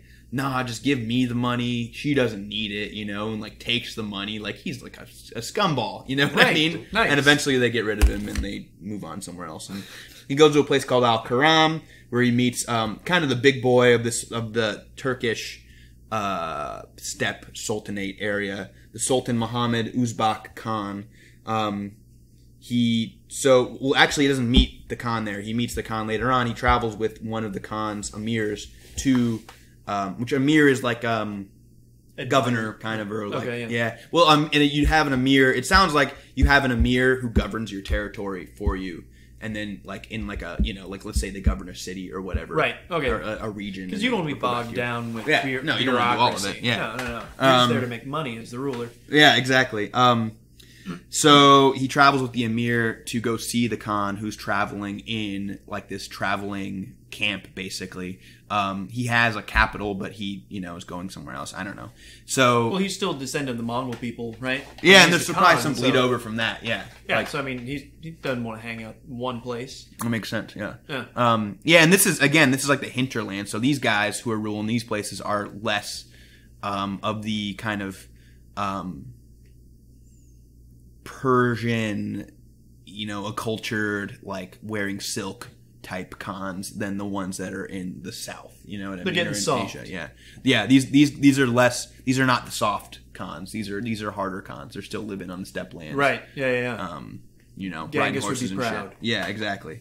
Um, oh, so he visits the Khan, and the Khan has wives. They're called Khatuns, um, and the Khatuns are important because he, with one of them, he makes a, a specific point to talking about how respectful they are to their women, um, which you know, again, like is you know, they they let the woman sit down before they do. You know, like oh man. Um, but uh, How he doesn't. dare you know, it's funny he doesn't reproach uh, Uzbek though, probably because he's a badass horse archer. Well, you he- know what I mean? Just came from Baghdad. Yeah. Again, you don't you don't talk bad to the to a group of people that will eliminate a city. Yeah, exactly, exactly. so I'm sure that played a, a role in him not reproaching this guy. Oh, right? you let your women sit down. Hmm, yeah, interesting. Yes. Hmm. very cool. I like this a lot. I Um, like everything that you do a lot. yeah, but he's still, you know, throughout this whole thing, the reason why he's visiting all these people again is because he's this learned guy, and there's various times where, like, you know, one guy he visits has him, um, you know, translate a text for him or recite a text for him so that he can then translate into Turkish. Like he he goes this one place where he's, um, you know, they don't they don't no one knows Arabic there, and he speaks Arabic, and they're all like, oh, he knows the ancient Arabic tongue, you know, and like Right. he's like very like, oh man, this this traveler from like you know, like he really is uh knows his stuff. He's from like the heartland or whatever you kind of Right. thing. Yeah, that was one thing that one uh, one of the professors said in um, one of the documentaries I saw. He was talking about how um, where he was definitely from old world Islam. Yeah. You know, like his father was Islamic, his father was Islamic, his father, you know, and so on and so forth. Um, you know, the North Coast Africa area and, and definitely the Middle East. We're getting in. He's getting to areas now that it are Islamic, but It's like a generate. They're like maybe less one, than two generations. yeah removed. So here he is. Not only not only is he a learned man, he is you know he's got clout. You know, and so yes, he can he he knows the law better than anybody else. You know, because he's from this prestigious family of law you know knowers, and you know so that that precedes him wherever he goes. Yeah. You know, so he's just got all this clout behind him. So Yeah. yeah, yeah. he's um trying to think of a good reference, uh, but I can't. It escapes me at the moment. He's But, like um, the Ibn Battuta. He's like the Ibn Battuta of uh yeah the Ibn Of Ibn Battuta. Battuta. yeah he's um yeah he's a he's a he's an important dude. But uh so he is in this guy's lands and he and he's oh he's meeting with the the Khatuns and he's going along and going around and um and kind of like uh paying his respects to him. And the one Khatun is from uh Constantinople. She's actually the daughter of the current ruler of Constantinople. Nice. which you know, you think of um, this is not you know the Byzantine Empire, which they would have thought themselves as the Roman Empire, I suppose at the time they didn't call themselves Byzantine, but um, this was not the Byzantine Empire of Justinian. This was the Byzantine Empire of like you know the city state of Constantinople. You Right. know what I mean? Right, and like right, the outlying areas somewhat, It, it's slowly collapsing in on itself. and a lot of it from you know this this guy and the Very much like, like the. Mali Empire did. Yeah, yeah, and uh, but yeah, essentially. Slow bleed. But yeah, and, and yeah, exactly. And uh and but at this point there's obviously like good relatively good relations between the two groups. Because like I mean, you know, this Well, if guy you're on the decline, you're not trying to start a war with anyone. Yeah, exactly. Exactly. I mean their their their armies, you know, Constantinople's armies are like mercenaries, you know what I mean? Yeah, they don't yeah, even yeah. have their own people fighting anymore. It's like whatever. But um, even even as a shadow of their former self, Constantinople still is like a big deal, right? Right. For Ibn Battuta. Yeah, I mean, even when it becomes Istanbul, I mean, like it's still a m- massive city of trade. Mm-hmm. You know, it just switches hands. And I feel like too, even when like the um, if I remember correctly, even when the Turks eventually do take it, they they have every intention of continuing the of holding on to the mantle of Roman emperor. Like they don't they don't get rid of that. Like that's still a prestigious thing, even for That's cool. yeah. And I and I might be bullshitting about that, but I think it's true. Like I feel like they they continue that tradition. Well, because that's kind of how that emperors goes back into like how amazed Ibn Battuta was by the the the thought of Rome and seeing the, the pyramids of like how ancient that was, Mm-hmm. and so they wanted to hold on to that too because then that gives you even more legitimacy because you can now trace your line back to you know 800 BC Yeah. as you know like the Roman emperor. exactly. Yeah, Exactly, and and I think you know the reason why, and the reason why, I, and again, if that's bullshit, it's bullshit. I don't know, but like, there there's less of a line of a distinction than than that we've made in the past about this. Um, that I think it's made of, of between the Western world and the Muslim world and the Far East, and I think that's one of the things that this thing does a such good such a good job of showing. Right. is like there no there was very much like a lot of crossover and like as you got to the fringes you know they're very much were these border regions much like the border regions today you know even between like the united states and canada you know like there's there's like a crossover of people and traditions and and um, well, culture. You know what i mean? You might have just said this, and I, meant, I didn't catch it the right way, but I mean, the border between Canada and the United States, who are, uh, us being in the United States, our closest, literal, closest ally, you know, by, um, by, by land, and also, you know, and definitely in the top five of, five of our friendliest allies, you know, to the United States, is harder to cross that border today than any border Ibn Battuta crossed yeah that's true too than any border because he just he, he walked there. At most, they asked him who he was, yeah and that was that. Yeah, that's true, and and and so that explains too why there's that that bleed over of culture and these bleed over of traditions and bleed over of people, right? Like the it wasn't these they weren't they weren't separate entities. They were part of a globalized kind of thing, Right. You know, Christian Christian uh, kings were spending gold from the Mali Empire. You know what I mean? Like that. It that's it's crazy, but it's like that's that's the world they were living in, and so like yeah, I don't know. There might have been uh, idealistic differences, but at the end of the day, you know, Trade's trade. trade is trade. Yeah, and and if you get a better trade relation with someone who maybe doesn't believe the same shit as you. Maybe you, you Whatever, know- you got pepper. yeah, exactly. maybe you give lip, lip service to the fact that you don't believe the same things as they do, but at the end of the day, you're But you your, find it very interesting. you send your Uh, daughter to go marry their Khan. You know, like because it's probably a good idea. Um, well, especially the Khan. yeah, exactly. Especially the Khan.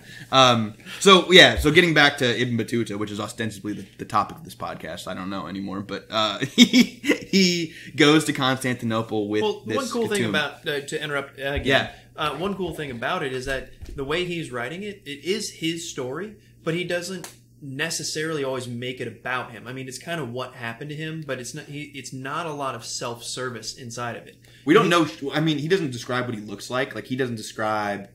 Yeah, like he's not very. He's very interested in saying what, What he observes. Yeah. yeah, Yeah, I mean, he says a couple of times like, "Oh, I was so lucky because of this," which he was so lucky because of these certain things. I mean, he very narrowly escapes death a bunch of times, but it's not, you know, just like look at how cool I am kind of a thing. You know, it's it's definitely, you know, just expository about what is going on in these empires. And so, Yeah. I mean, yeah, it's just super interesting. Yeah.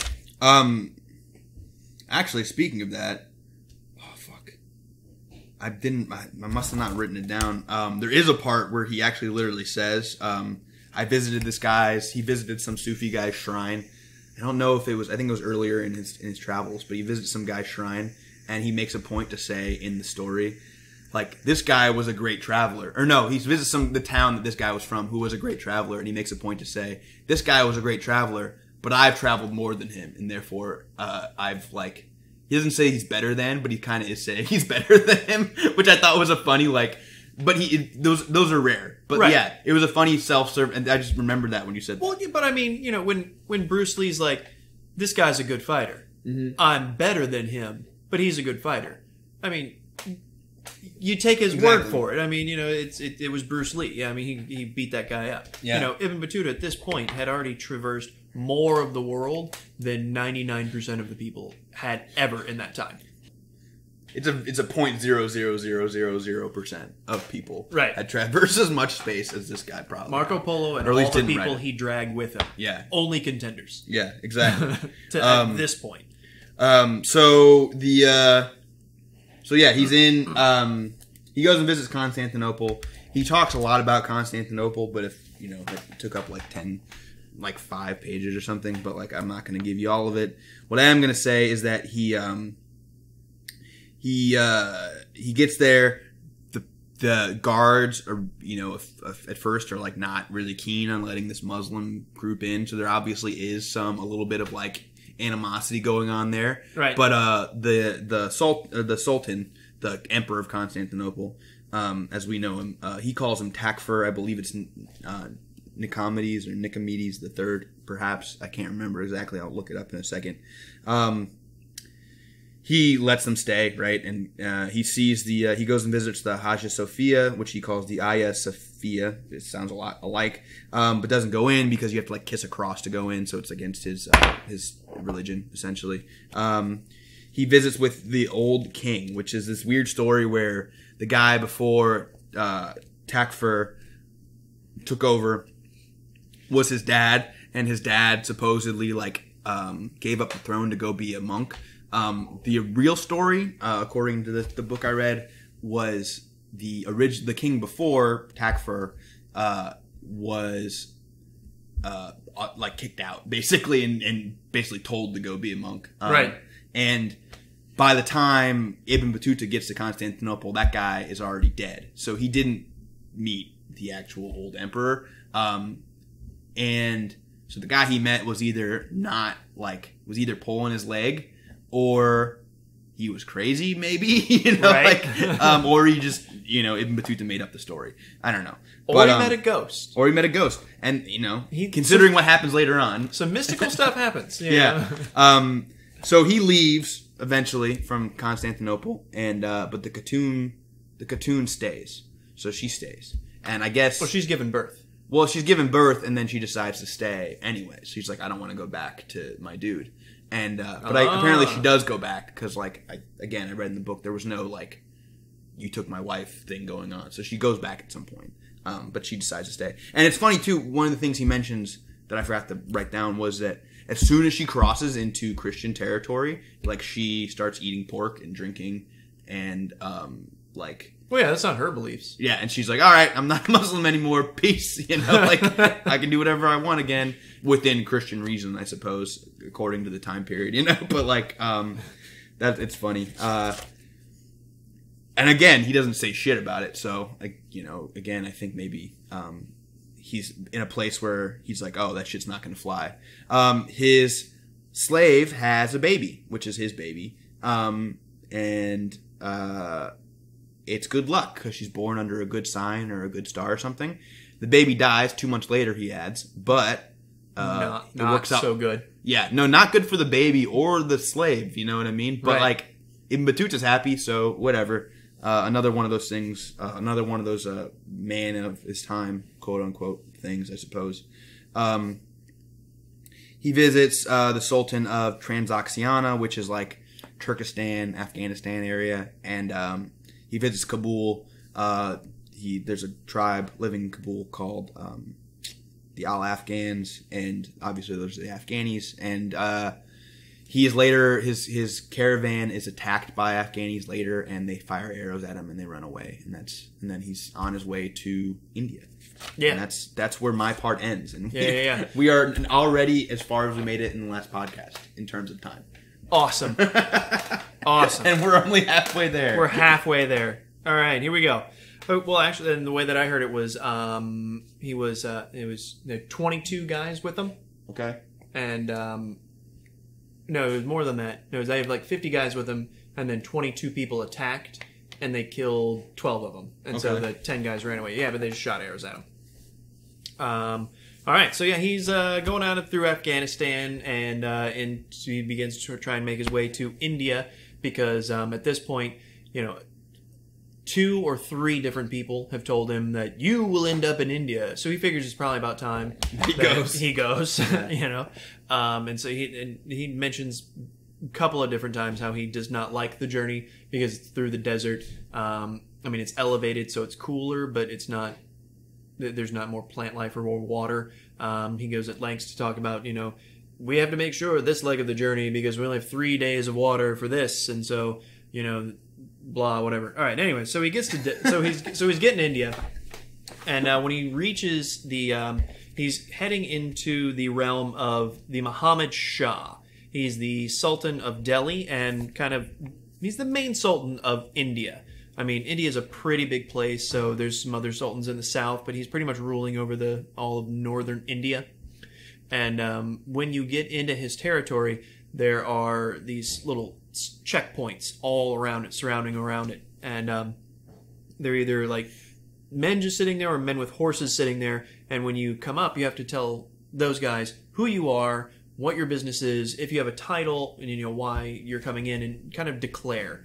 You know, they're they're basically you know um, border patrol, mm-hmm. and um, so when you get there, uh, so he got there and he tells them you know yada yada this and that, and uh, Ibn Battuta says that it's about 50 days away to Delhi, which is the capital where he's headed, and um, but the runners, this guy, so he gets all the information. The guy runs and he runs for a mile, and then there's another checkpoint in a mile and mile and mile and mile, so on. So they actually get the information there in five days as opposed to 50 days. So this this uh, Muhammad Shah knows who's coming, um, and so basically what John and I were talking about is the Romans did the same kind of thing. Um, I think the Greeks did or whatever, but some but basically Benjamin Franklin did not uh, come up with the Pony Express, as um, as America likes to say. Um, you know, old old old thing. So. And uh, so he's he makes it into India, and he starts talking about um, that uh, he stops in little villages, nothing really of note. Basically, what they have to eat there. There's dates um, that he likes. There's uh, you know rice. He makes mention that there's this black rice that's um, uh, like 90 days old. That it doesn't go bad or doesn't lose its flavor. You know, he, he loves he loves talking about food.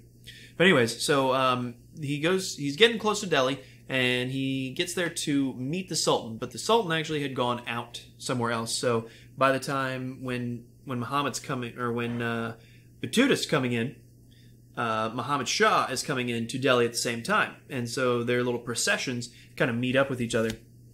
And so what happens is he writes in the book there about how when he's coming in, he notices that they've got all these elephants.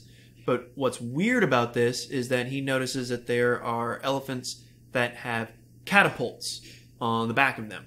And uh, so when he doesn't understand why they have elephants with catapults on them, and he quickly understands why because the the Shah he is the richest, well second richest because uh, we found out that uh, Mansa Musa is in fact the, the was the richest, but they didn't really know that. So what they did was they is but they thought he was the richest sultan, but um, so what they would do is with these catapults in the back of elephants, they would load money onto the catapults and then launch them into the city and into the crowds as a way to just like, hey, here's some free money, which sounds really cool until you think about like you're 50 yards down away and then like they're just launching gold at you and you get hit in the side of the head with gold. Like, oh, Gold's heavy, dude. yeah, dude. Like, pow!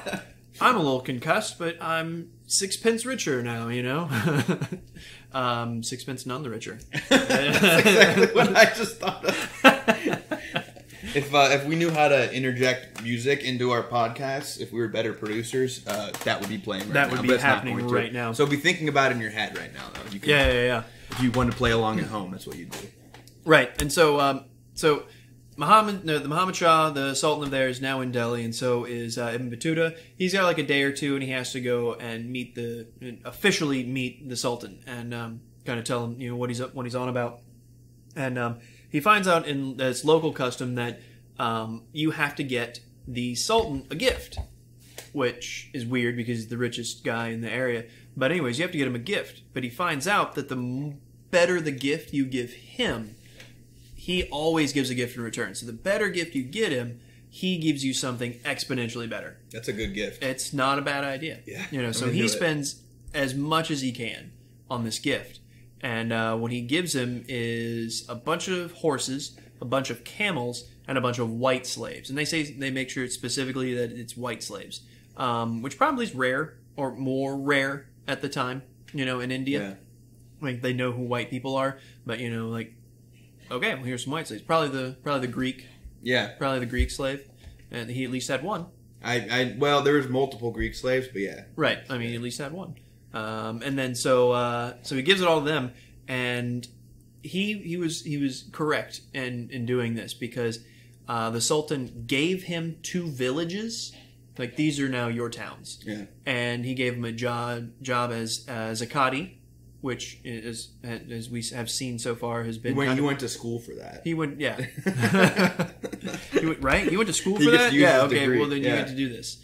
Um, and a salary of 12,000 dinar annually, which, if we remember from the last podcast, um, one dinar was worth 4.8 gold dust ounces, 4.8 gold ounces. Yeah. So 12,000 of those every year. So that's pretty cushy job for just showing up at the place. It's a sweet gig, yeah. Not a bad Yeah. you know um, and the, there's a place there that that uh, that the that the Shah ruled out of. It was called the Hall of a Thousand Pillars.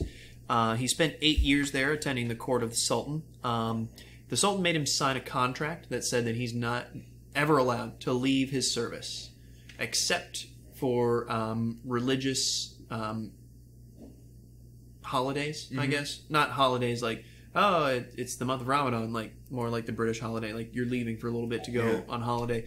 But um, and then like if you're going to make Hajj, you're allowed to go. Yeah. But then It's you got to you got to come back. Yeah, it's easy to agree those terms of service when you're getting two villages. But I Right. imagine after a while, you're like, man. I- well, after eight years, Yeah. yeah. he was like, it's like whenever I sign the new update for iTunes, you know, and then I find out that they're uh, they get my firstboard. Right, All of a sudden, you know, I regret it. right. well, I guess I have two kids now, at least. yeah, exactly.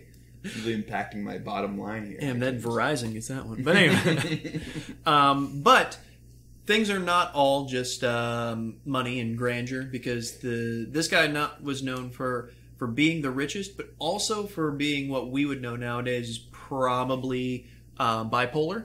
Yeah. Um, Ibn Battuta made made a point to note that um, whenever he walked into the Hall of a Thousand Pillars, um, there was usually a fresh corpse, yeah. like someone that had d- displeased him that day, or even maybe not. He was just like, and kill that guy, you know, and just move along. Um, so not not the greatest of fellows. No, man, that doesn't sound like fun. Yeah, we're, we're gonna fast forward real quick. Real stressful No. to be someone hanging out with that guy. You thought Henry VIII was bad? Yeah. You know, he's just killing people just cause. He was like, that guy, get him. Like, all right. oh fuck. um, and uh, fast forward real quick. That's interesting. Uh, the uh, one of the documentaries I saw is um, so the how the the Hall of a Thousand Pillars. It was this grand, grand thing, and it should have stood the test of time of literally just being structured. But I was telling John before the uh, the podcast here that um, in in the in the documentary, it is a shell of what it used to be. I mean, the place is just destroyed, and it was destroyed intentionally so. And the story behind why on that one is is one day there was this one really respected Sufi. You know, again, Ibn Battuta really likes the Sufis. yeah. Um, there was one really respected guy in the in the surrounding area, and the the Sultan commanded that he come into his presence. Like, you got to come over here and tell me something about something. I don't know what it was. Doesn't really matter. Yeah. Um, because the Sufi's like, yeah, I'm not gonna go visit that guy. He's a tyrant. He tells that to the to the courtier, the guy who came to get him. And uh, so the courtier's like, don't want me to tell him that. And he's like, you go, you go tell him that. And, tell uh, him and so courtier runs off, tells the Sultan. Uh, he says that he won't come to the presence of a tyrant, and so the the Sultan has him. He captures him, brings him to the court, and literally feeds him shit. Not bad food, his feces. Yeah. Feeds him feces until he dies. That is terrible. Right. and then burns the body, yeah. which I figure not the worst part of it. Yeah. No, I think the poop part is worse. Yeah, far worse. And so now the the local populace, I mean, they probably destroyed it a long time ago. Well, they did destroy it a long time ago. They use it as an open air bathroom. Yeah. Like there's li- like when they say like there's shit everywhere there, there it's it's not a euphemism. Like, Not great for sanitation, but I can see it. It's a great fuck you to the Sultan. a 700 year fuck you. Yeah. Which is awesome. Yeah. Uh, because good on him. Oh, yeah. Because screw that guy. Yeah, dude. Um, all right, so uh, yeah, but Ibn Battuta was this was the Sultan's favorite um, because again, as we were saying before, you know he's um, he's from old Muslim world. This guy, he was uh, he was a convert, and so he, you know it was really good to have this guy uh, Battuta around, you know, to help Legitimacy. say yeah. what's up with what's going on. Yeah, yeah. Um, but then um, Ibn Battuta really liked the yogis that were going on, and uh, you know he was super interested about this. And um, we can actually Which kinda, are not, they're not Muslims, right? Yogis are. no, Hindus, sir. They're yeah. Hindus specifically, yeah. And um, this kind of is my own yoga teacherness coming out. Is Mm. actually yogiism is a little bit different than Hinduism as well. Oh, wow. I didn't yeah, know that. yeah, yeah. Same kind of gods and stuff, but it, there's little, little little bits of difference. Okay. Um, I mean, it's not the same as, but like kind of the same ideas, like Baptist, Methodist. Okay. You know, like they have the same gods and stuff, but you know, like their belief in them a little different. Yeah, okay. Yeah, yeah, yeah. Um, but anyway, so he he's still he's super into like these guys because you know as we've seen before, he really likes all these Sufis and uh, you know so the mystics Yeah. of of Islam, and so he starts hearing about these mystics of Hindu Yeah. and so of Hinduism. So he, Continuing his, like, his, again, his, like, his uh, white guy in India tour. You oh, know what I mean? absolutely, yeah, yeah, yeah. like, this finding is- his place in Eastern religion. right. This is that absolutely like seven years in Tibet, right here. Yeah. yeah. Eat, pray, love. Absolutely. Yeah. He's going to San Francisco after this. He's Yeah. going to open up a yoga studio, and teach Get- everybody. get into aromatherapy. You know? the story of Ibn yoga hippie. Um, and so Sultan gets him into this, and he takes him to go see some of this stuff and um, some of the yogi mysticism, and um, he makes he has the them show th- them the stuff. And uh, one of the things is um, a yogi makes a guy levitate. Um, and then another one is he makes uh, the yogi makes a rope go straight into the air, not attached to anything, you know, Okay. and it goes way up into the sky. So it, says that it's out of sight. And um, then the mystic says to one of his um, his helpers, like, climb the rope, climb as high as you can. And so the guy does. And um, it says it climbs until he's out of sight as well. And then the yogi master calls to him three times, but he's so far up there that he can't be heard. And they wait a little while, and the guy climbs down. And Ibn Battuta says that he was so amazed by this that he fell to the ground. And uh, then the Sultan looks at him and says, "If you weren't so faint of heart, I would have them do things that would really boggle your mind." Which that I want to know what those Yeah, me like, too, dude. And then like in the Damn documentary, it, yeah, Ibn Battuta. Documentary, they just move on. I was like, no, what what are those? things? okay, because they had like uh, one of the descendants of the guys, which either magic was really real back in the day, or everybody was super gullible because they they redid the floating guy trick. And it's they, they put a big blank and put a big sheet over a guy and he lays down and then then the guy floats up and you can still see his feet underneath the blanket you know and Oh, you can yeah. see him floating which he's got two pieces of wood you know and he's just standing up holding two pieces of wood where his feet would be. Yeah. you know so like it looks like he's floating like no this it's a bad illusion you know? Or Well, they or, Or, just magic was real, which is I, what I like to believe. right right magic was real back then. They even show the rope trick. It was like it was like a, a, a stick went up that had like rope wrapped around it. Right. It was like you guys believe that like that's not a thing They do like the finger trick, like the yeah, yeah. and I saw a man remove his own finger, and he got my nose. I never got it back. Never got my nose back. I think it's there, but it's not really there because he ate it. I saw him eat it. I saw him eat it. And, yeah, um, he kept pulling dinar out of my ear. you know? but um, so uh, he sees all the, you know, he's he's living in court, you know, getting, and every now and again the the sultan will freak out and accuse him of treason for whatever reason because he's bipolar. But he only I often accuse my friends of treason. You know, whatever. you got to keep people in check. Yeah, exactly. That's gonna make, like whether or not they're actually being treasonous, you need to assert that they're not. You know what I mean? So give them a good scare. make sure that they're not. Make Yeah. sure that they are making sure that they're not. right. exactly. Mind your p's and q's. You know. And uh, okay, so he's hanging out. Battuta is, you know, ruling these two villages, making lots of money, but spending lots of money, spending too much money, and he gets seriously in debt. Yeah. And um, even after all, he's making all this money and getting gifts from the Sultan. Like he gets in debt, and uh, he wants to go, but he has to settle his debt. It's part of the law, you know, of the Sharia law that he you can't just leave debts out there. Um, and so what he does is he knows that there's the whole gift thing with the Sultan. You know, you give him something, he gives you something better in return. And he knows that the Sultan has a sweet tooth. And as we mentioned before, he's got this Yemeni confectioner. yeah. And um, so he gets his Yemeni confectioner to make all these crazy sweets that the Sultan has never even seen before, let alone tasted.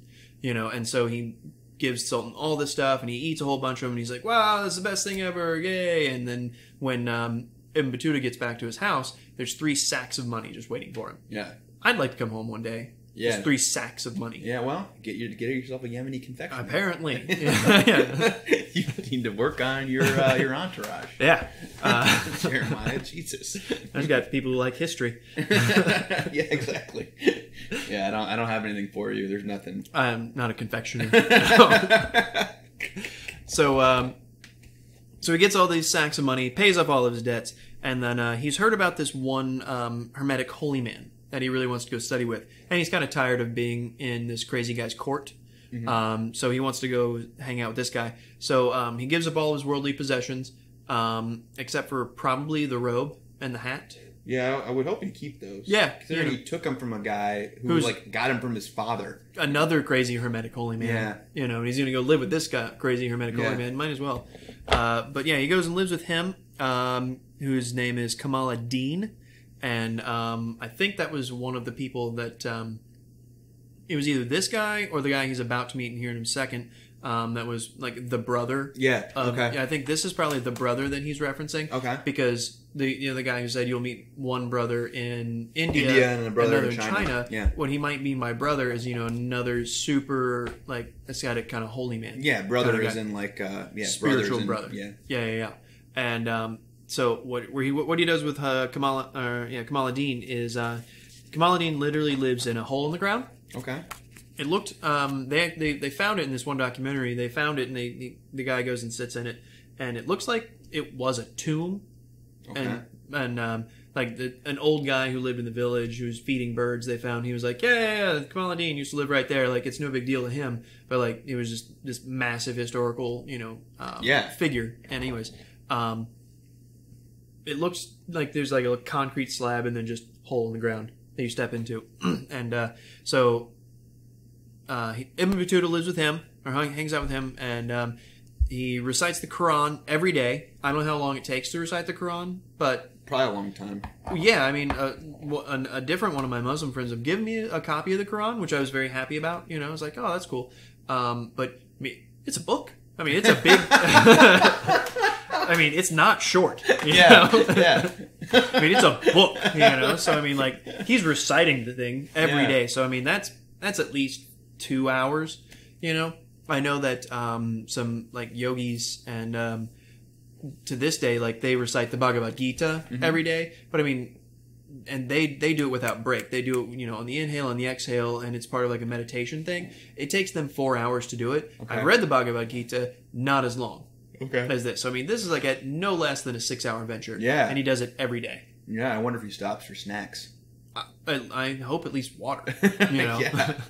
And uh, so he recites the Quran every day, um, and he meditates a whole bunch too. Uh, the guy teaches him how to meditate, or he may already know how, but he's met, definitely meditates with him. He makes uh, a statement of that, and um, it's important that he's in that cave because in Islamic thought, if you're in a cave, supposedly time stops Okay. Because at that point you're cut off from everything else and it's just you and God. And so, and not in like in a heretical sort of way, but you know, definitely like it cuts out all other distraction. And so it's just you and God. So there is no time when it's just you and God. That's really cool. Actually, Yeah. really cool concept. Right.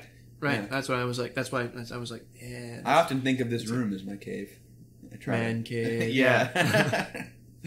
Um, I actually have this down. If there is one superpower I could have, would be control time. yeah. That that's a good. I, dude, I feel like that's a superpower that would be, you know, one of those things. It's like you wouldn't. Yeah, you could do anything you wanted. At that point, done. Yeah. Win. Game Why over. you need flight? You know what I mean? If Right. you could stop time, then you just like, like, I'll get there. yeah, Yeah, exactly. I'm just hang on. Yeah. yeah. All right. Anyways, sidebar. Uh, so he stays there for 40 days, does that, recites the Quran 40 times apparently, um, and then not there's any significance. It's just that's the math. Um, and the reason he comes out is the Sultan finds out where he is and makes him an offer you can't refuse. Kind of in the the Godfather sort of way, because Okay. you can't refuse an offer from this guy. Um, but also at the same time, it's not a bad offer. Um, he says the Sultan tells him, like, I know that you really like to travel, Mhm. and uh, so what I'm going to do is, uh, and he showers him with gifts. He gives him gold, he gives him robes, he gives him some horses, he, he gives him stuff, and um, which basically seems like that they've just been giving the same stuff back and forth for a while. Yeah. The two of them. What if he was just regifting all the stuff that he'd already Right, right. wanted? Wait, I gave you this horse Really, two years ago. Old horses. It's like- this horse seems oddly familiar. Yeah, the horse is like, I guess you go time live in this stable now, or whatever. No, we're going to our summer home. Oh, okay, great. Listen, didn't I give you? I, I just gave you this robe. what the hell, man? I don't like purple. You know? like, Hey, sorry. It's like the bread. Have you seen uh, Old School? Movie Old School. Yeah. the Yeah, bread yeah, yeah. machine that he keeps trying to give right. the kid. it's like that. It's like the bread machine. Um, so he gives so he gives him all these gifts, and an offer is that he's got to be an ambassador to China. Okay. And uh, the big reason he wants to go to China is because um, Muhammad, um, the actual Muhammad, you know, the the you know, praise not praise be, but, um, peace be upon him, peace be upon him, Muhammad. Um, he, in one of his sayings, is that um, seek knowledge, travel, even if it should take you to the edge of the earth, or even if it should take you to China. Mhm. You know, and I think maybe Muhammad was trying to be hyperbolic by saying, you know, even to China, you Yeah, know. probably the same way we say like dig a hole to China. You know, like Right, right, China's right. He's just being very, very prolific yeah. about it. But hey, yeah. these guys, you know, they went with gusto. So, um, so you know, he was truly taking it to heart, and that's where one of the things he was wanted to go, and had been prophesied to be there too. So, um, so here's here's here's was here's his way to go. Mhm. You know, and uh, so he's going to be the ambassador because he's going to give a gift to the Chinese emperor who had actually just given uh, Muhammad Shah uh, a gift. Um, so he's got to bring over to China, 100 slave girls, 100 slave boys, um, a whole bunch of different kinds of cloth, and then boxes and boxes of gold of sil- gold and silver. Which it seems like the again the royalty. I mean, the royalty is just exchanging like they're just going back and forth, just Yeah. to shake hands. Like you could just shake hands, have dinner. Yeah. You know, dinner costs less. yeah, exactly. It's all right. Give it to the people. Um, and they're gonna all going to be carried, uh, you know, uh, accompanied by a thousand cavalrymen, which seems good. Yeah, it's Say- a good amount of cavalrymen to have with you. Right. Right. I, I leave the home with at least 500. You know what I mean? Just because of things. Have you read the headlines? Yeah. There's a hurricane out there. yeah. I mean, what, you know, what am I going to do without my cavalrymen? Get robbed. Get robbed. Even though you have 500 cavalrymen, you might still get robbed because Ibn Battuta, as soon as they set out, gets robbed. Oh, wow. Gets robbed. Uh, a bunch of tri- angry tribesmen of the of the local area, I guess, who won't submit to Hindu or Islamic rule. You know, whatever, because India is a big place. I mean, it's a subcontinent in and of Yeah. itself. Yeah. Um, so they ambush him. They kill 25 of the cavalrymen. And um, now I'm inferring this. We talked about this before. Um, Yeah. I'm inferring this part. 25 isn't a huge number. Not a bit, especially out of a thousand. Yeah. yeah. Um, but they did capture Ibn Battuta. Now, my reasoning for that is that he ran away Yeah. and then later got captured, being away from the hot. He strayed from the big pack, bro. A bad choice. Yeah, yeah, yeah. And uh, they stripped him of his horse, his sword, um, and all of his clothes, Mhm. which I think means the hat and the robe Yeah. he got. Bummer. Bummer. No, dude. That's kind of messed up. Right. I mean, I hope these guys at least know what they stole. you know. But anyway, so we, um, after he they do that, um, he wakes up on the side of the road, and um, he he doesn't know where he is, and he knows that it's not good, Mhm. and um, it's not good. It's not this good. is not good. Um, and he meets this guy named uh, Dilshad, and um, he he was prophesied to meet specifically by name. That uh, he was prophesied to meet this guy, and um, so Dilshad wakes him up on the side of the road, and he says, "You're going to get on my shoulders," and uh, so he does. Mm-hmm. What a guy.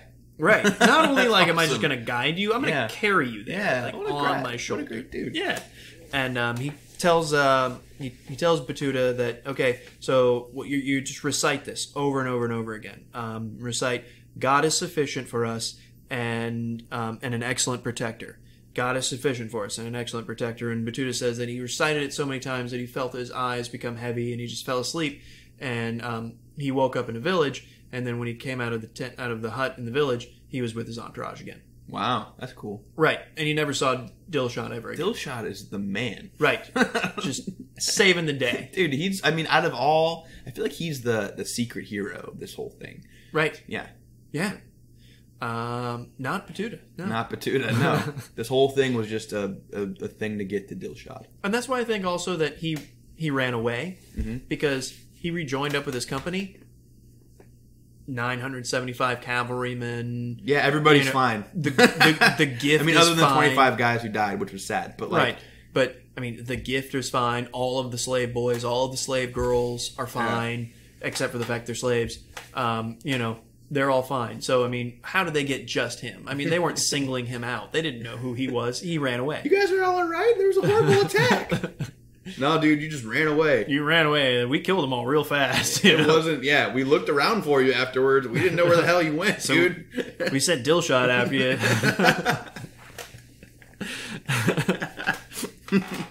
so they uh, pick up on their trail. They go down to this place called uh, Khajuraho, and uh, the reason he writes about that is because of um, all of the sex that is had there. Mhm. Um, there's literally a, a temple that has an orgy carved into it.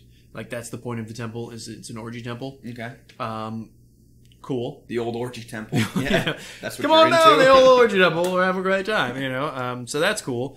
Um, but he, but when he's there, he notices that there's a lot of other Muslim guys there that are specifically there to look for um, gurus, Hindu gurus, which is of note because they're not Muslim. yeah, You know, Muslim people looking for teachers who are not Muslim.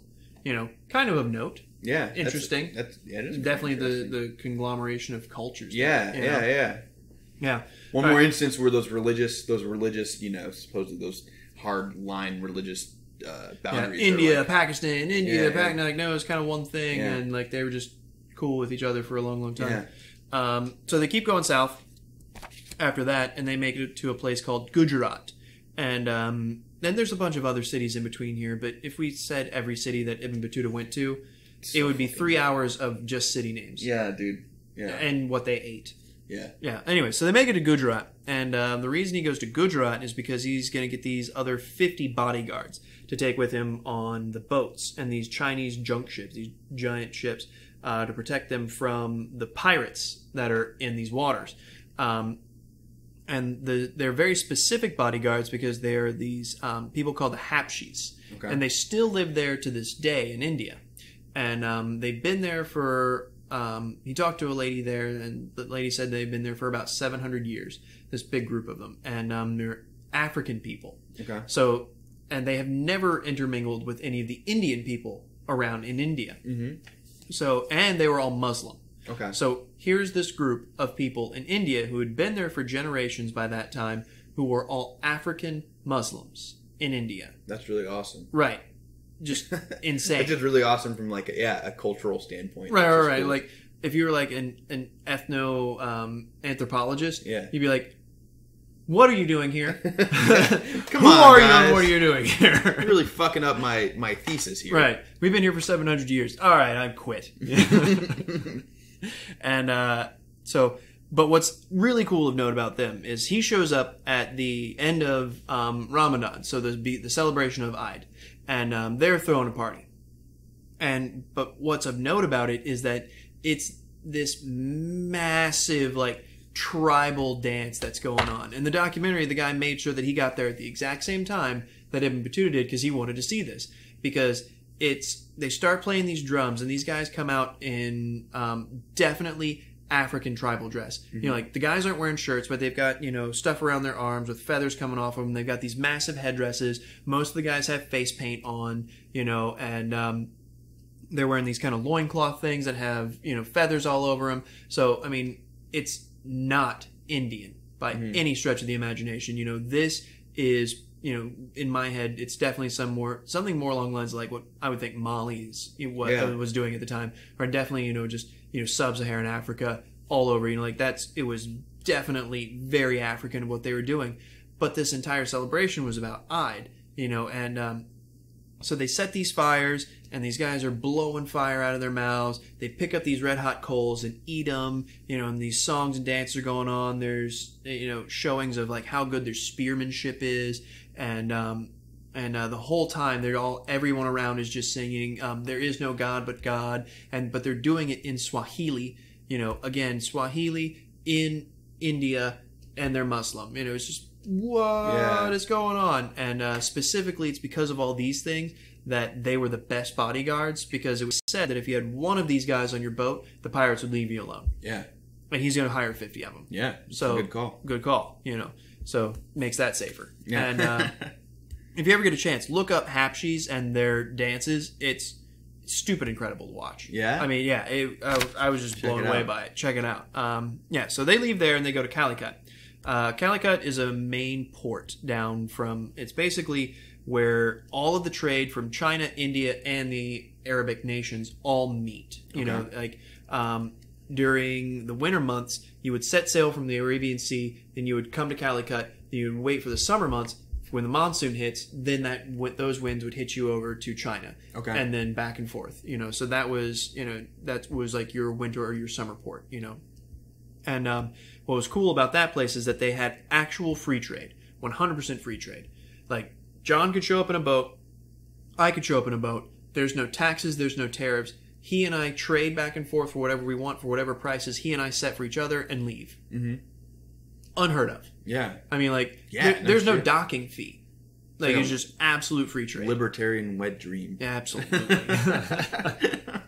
That actually was the, the birthplace of capitalism. Yeah. No. I mean, Adam Smith. Yeah, that's what he wrote about. Yeah. Was uh, he took a trip to Calicut and was like, "This is it." I found it. um, anyways, so um, he shows up there in massive splendor, this and that, and um, but and this whole place was ruled by these one person called um, the Zamorins, and uh, one group of people called the Zamorins, and they had one rule for the area, and it was a pretty cool rule, and um, it was that you were not allowed to speak about religion openly. Yeah. In open areas, you could not speak about religion because uh, there were Jewish people there, there were Chinese people there, there were Arabs there, you know, there were Hindus there, there was everybody there from, you know, there was Buddhists, Muslims, Jewish people, Christians, uh, everybody was there. And so there wasn't any fighting because nobody was allowed to talk about that, Yeah. you know? And uh, so, pretty chill. Yeah. Yeah.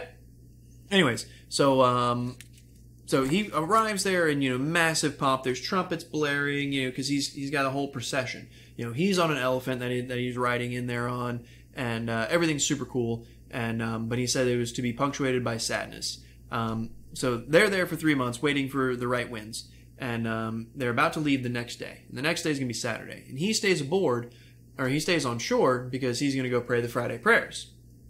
And this was the monsoon season, so it wasn't uncommon for there to be storms. Um, so he goes to Friday prayers, and um, but what happens is the storm was a little bit bigger than everybody thought it was going to be. Sinks the boat. Jesus. So 975 cavalrymen, 50 of the Habshis, 100 slave boys, 100 slave girls, all you know, all His whole entourage of people. whole entourage of people, the cloth, the gold, bond with the ocean. Damn. Boom. And you can't go back to the, To the Sultan. the angry, yeah, Yeah, The, the- Sultan leaves a body outside of this, Yeah. this place every day. makes this other dude eat shit. You Yeah, know? like, yeah. yeah. What are you gonna do to me? You know, like, no, thank you.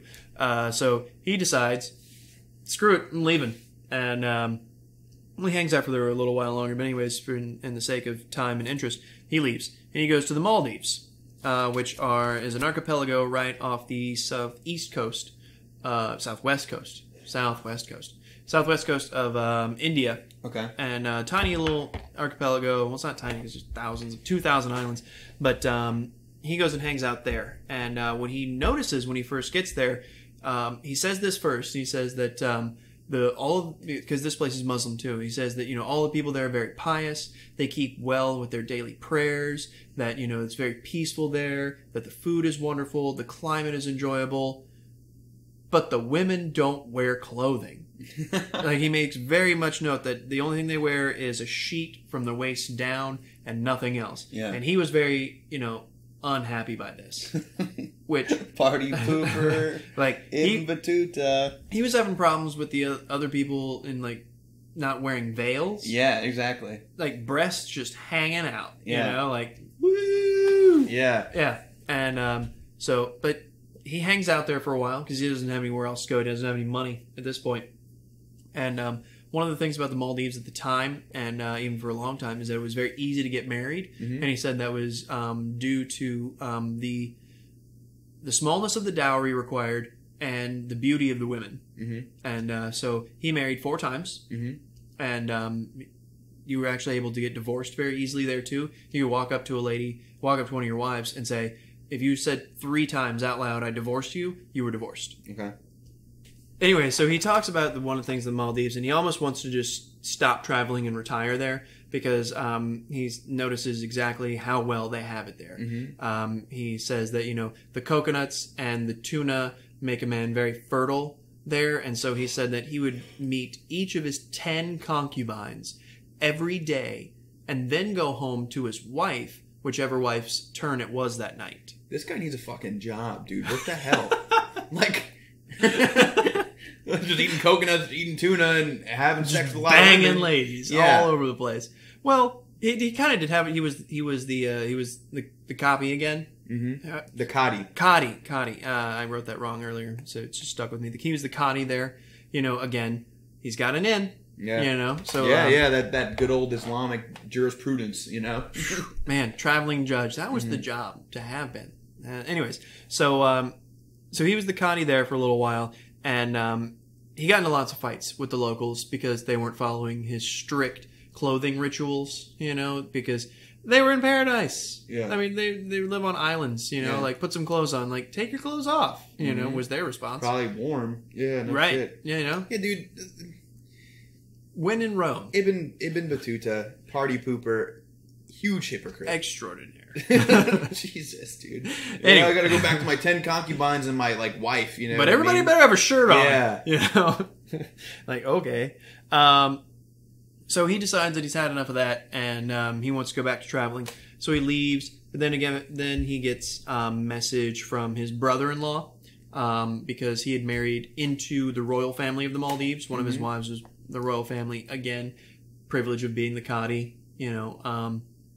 And so his brother-in-law calls him back because there's an uprising in the Maldives, which I don't understand. If I mean, if the rules are eat coconuts, tuna, and hang out, what are you uprising against? Yeah, You know, what do you? I mean, I don't know. I don't know. But anyways, there was, and so he came back, helped put that down, um, and then was like, "All right, seriously, I'm going to leave this time," and did. um, and then so he takes his ship, goes up to um, like what mo- is modern day Malaysia. He stops off in Thailand. He stops off in Vietnam, and then goes up to China. Um, and very specifically, he notes those things because Malaysia, Thailand, and Vietnam uh, very specifically tell him how much they hate China. Mhm.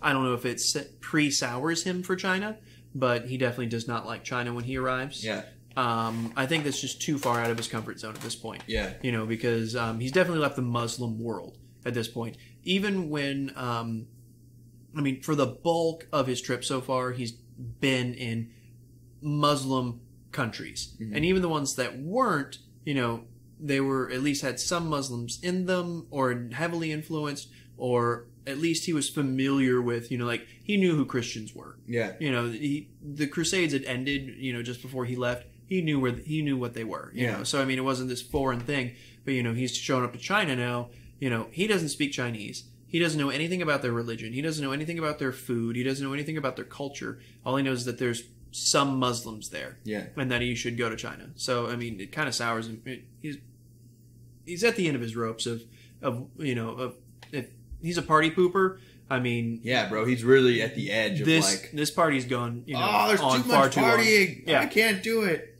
I can't poop on all these parties. there's too many parties to poop on. Which oddly enough, um, it doesn't even say like they're doing that many terrible things. He just doesn't. He's Yeah. just completely over it. And this is when he really begins to start talking about how he's uh, becoming homesick. Um, but he shows up in Zaitun, which um, is still there today. Um, if I remember correctly, it's called Guangzhou now. Doesn't matter. I'm probably mispronouncing that, and it might be the next city that he goes to that's Guangzhou. But anyways, um, he gets there and um, he meets up with these Muslim. There's small Muslim communities there, and he kind of sticks to those places because Mhm. again, he's not familiar with any of the food. He's lost his interest in really trying new and different things. Um, at least as far as some of that stuff goes, and he really does not care for the culture, so he sticks with the Muslim communities there. Um, he hears about this other city that he really needs to go see um, called Canton. So he takes a boat ride up, a 27 day boat ride um, up to Canton, and um, he doesn't like it there either. He calls everybody infidels, um, but he does hear about this 200 year old monk or hermit, a holy man up there, and um, as is his thing, he must go meet this guy now. Um, so he goes up there, and because what he hears about him is that this guy doesn't eat, he doesn't drink, and like not drink liquor. I mean, he doesn't drink water. Mhm. Uh, he doesn't eat, he doesn't drink liquids, and uh, he doesn't have sex. And his only thing in his life is about devotion, Mhm. uh, which is pretty cool. You Yeah. know? Um, If you can do that. I mean, I like all three of those other things though. So. yeah. Yeah, John's wife made some um, awesome, like Asian influenced chicken and rice this this evening, and it was fantastic. Fantastic. I ate too much. It was great. so I'm kind of on Ibn Battuta's side on that one. You know, he loved food. I'm into that one. Yeah. Uh, so, anyways, uh, so he goes and meets this guy, and um, he climbs up this mountain because you know it's China, so he's a hermit on a mountain, as as they do, and uh, so climbs up. He sees the hermit sitting out front of the cave, and he walks up to him. He bows, you know, prostrates himself to it, the right, you know, shows him his honor or whatever. And uh, the guy grabs his hand, and he smells it, which is kind of weird. But anyway, so he smells it, and he says, as, as you do. like you do, you know. Hmm, you smell like garlic. I, I don't know. Uh, So he grabs his hand, smells it, and he says, You are from one end of the world, and I am from the other. Which, that's pretty cool. yeah. You know, It's but a pretty awesome thing to say to somebody. yeah, Yeah. yeah. I mean, just just by smelling them, Yeah. you know. But at the same time, here is a West African man in China on a mountain, Mhm. probably not real hard to see that you know like He's like, oh, you are not from different. around here. You know, yeah, Thanks, Buddha. Yeah. what else do you got for me? yeah, Um, so, uh, anyways, so he he talks to him a little bit, and the guy looks at him and says that you are a miracle. You know, you have um, fulfilled all the prophecies that have come to pass. You've skated death. You know, all the times that you should have, and um, and tells a bunch of other weird things. And he says, uh, "Do you remember at the beginning of your journeys the man who gave you ten coins?" And he goes, "Yes, I remember that man." He says, "I am that man." And he turns around and walks into his cave. And Ibn Battuta's like, "What?" yeah. Because I think that's only proper response. And uh, so he walks into the cave after him to presumably ask him, "What?" And, uh, when he walks in, guy's gone. There's a servant there, and uh, it's not like the guy like you know put on a beard, you know, like, it's not me. And- different guy, Yeah, presumably. And he looks at him and is like, Where's your master? And the guy says, um, This is what happens when he reveals one of his secrets. If you were to stay here for the next 10 years, you would not see the master again, but he is always with you. You know, again, Yeah. kind of thing. Um, right. So I guess it's. so I guess like that's kind of like a the nice capstone on his his going farther away from home adventures. Um, you know, it kind of brings it full circle for his like okay. Uh, That I've reached the end here, Yeah. you know, and uh, so he did. He, he did, and he starts to come back. You know, passes back through his Itoon, takes the uh, the junk ship back, uh, Calicut, um, and then hops, skipping a jump to um, the uh, back to Arab, cuts through Yemen, Saudi Arabia. He goes back up through. He takes he goes on Hajj again because I mean he's close enough. He's got a long way to go still. So Yeah. why not? He's liked it so much the last time, last four times he was Right. there. You're in the neighborhood. Yeah. You know, it's only a couple hundred miles away. You have a couple more thousand to go. So what's a couple hundred? Uh, and uh, so then then he decides that he hasn't gone to um, Sardinia yet. You know, one of the islands off of Italy. So uh, again with the Genoese, he uh, hitches a ride with them, stops in there, mentions the food. Nothing really crazy. Uh, comes back to Morocco, goes to the capital of Fez. Um, yeah, he comes back so much faster than he went out there. Was, He's not. He's not like dawdling around. He's already seen all the sites. He's like, all right, I know about this. Know about this. Know yeah, about yeah. this. Like, hey, hey, John. Hey, yeah, no, I'm just leaving. yeah, Hey, peace. all right. In, in town just for in the night. and out, in and out. Yeah. Uh, so um, he gets back to Fez and he hears that uh, the King of Spain is at it again. He's going to try and kick more and more people out of um, out of southern southern Spain or what was it called? Granada. Well, they they Andalusia. Andalusia. Yeah, he was going to finish the job, you know. Um, and so he joins up with a bunch of people that are going to help the resistance. So he goes up there, and uh, on the way there, the uh, the king dies. So that plan died out. So that it ended up happening, but um, he didn't, ends up staying in Granada for a little while longer because it's another, you know, massive um, Islamic city that he hasn't seen yet. And I mean, that was right next door. Really could Yeah. could have started there, but you know, whatever. yeah, yeah, that'd have been a good place to start. just right, just right across the sea. Uh, so he so he goes and sees it, hangs out there for a bit, and then he hears about um, uh, he he heard about Mansa Musa and all the gold in the Mali Empire, and you know how crazy the sub-Saharan African stuff is. So that's when when he goes down. Uh, Mansa Musa is not, excuse me, is not the king anymore, or is not the Mansa, because he passed away, and um, some like I think his heir. Um, and uh, Suleiman, maybe. I don't know. I can't remember. yeah, something like that, somewhere. And uh, so he goes down there, goes and sees Timbuktu, goes and sees Nyani. He goes into Gao, um, as you may remember from last time. And um, but then in Gao, he gets uh, word from a messenger from the Sultan of Morocco that says that orders him to come back, and uh, he he obliges. He goes back, and um, the Sultan orders him to retell his accounts to um, Ibn Juzay to you know because here's a guy who's you know seen the world and uh, you know we, we got to get that story on paper before you die Mhm. you know because it's 29 years later you know he left when he was 22 Yeah, so I guess he's like in his sixties now. right right right 50 Right, 50, early 50s Yeah, early but, fifties. but still in 1300s You know, Yeah, no, he's he was an old man when he was like thirty. You know what I Right. mean? so he's point, way old, you know. So we got to get this before you go. Yeah. And um, so he did, and he wrote it down, uh, or Juzay did, and uh, and that's kind of it. And then he kind of just, I guess, retires into obs- he becomes uh, a, a qadi there again, but kind of just. I mean, they've already got plenty of them, so Yeah. he just doesn't go into obscurity, but just kind of retires and. Not as many parties to poop on there, you know. So he's like not. Well, they're following the rules that he grew up with, so he's cool saying. with them. Yeah, Yeah, well, yeah, that's yeah. what I'm saying. He doesn't have anything to do. There's no parties to poop on, so he can't Right. like, go yell at anybody, or Right.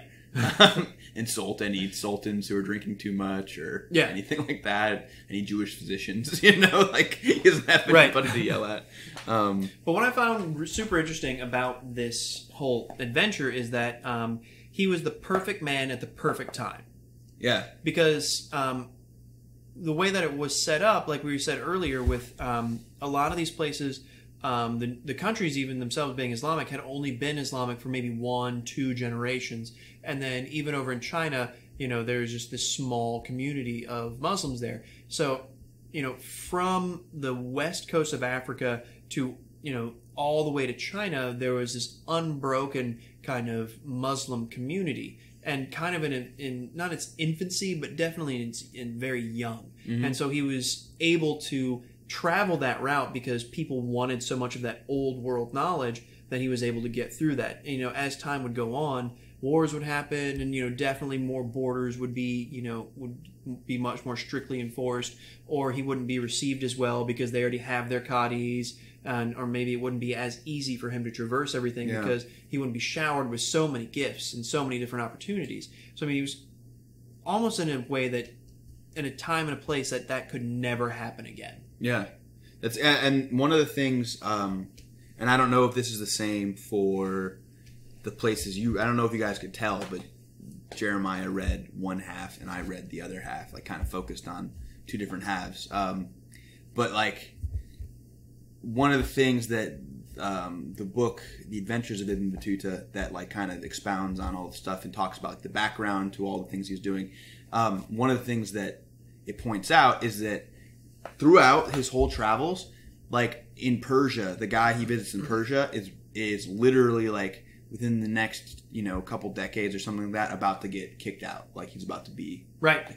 um, the other people like even being tra- able to, to traverse between Morocco and um, and and the, the the people who ruled in Morocco and the the Mamluks is um, was like something that he couldn't have done as easy um, a few years prior because there were a lot of wars. Like a lot of these people are either in the um, the beginnings of being kicked out of power or they have just stabilized power by his guy and like literally just you know like he just got lucky like a Right. war just ended like civil unrest just ended all this stuff so he's like again like right place right time the whole All thing. the way through. yeah yeah and he's like because really i mean for for as far as he goes um and for as violent as we consider like the medieval world being or i should say as i consider it being Perceive it being, yeah. he's i mean yeah there's like bandits on the road and stuff like that he takes but there's not for all the times where there's actual violence it's not as much as you would i guess think there would Right. be maybe Or I would have expected. yeah. Yeah. exactly maybe that's because lack maybe there was more and he didn't talk about it but like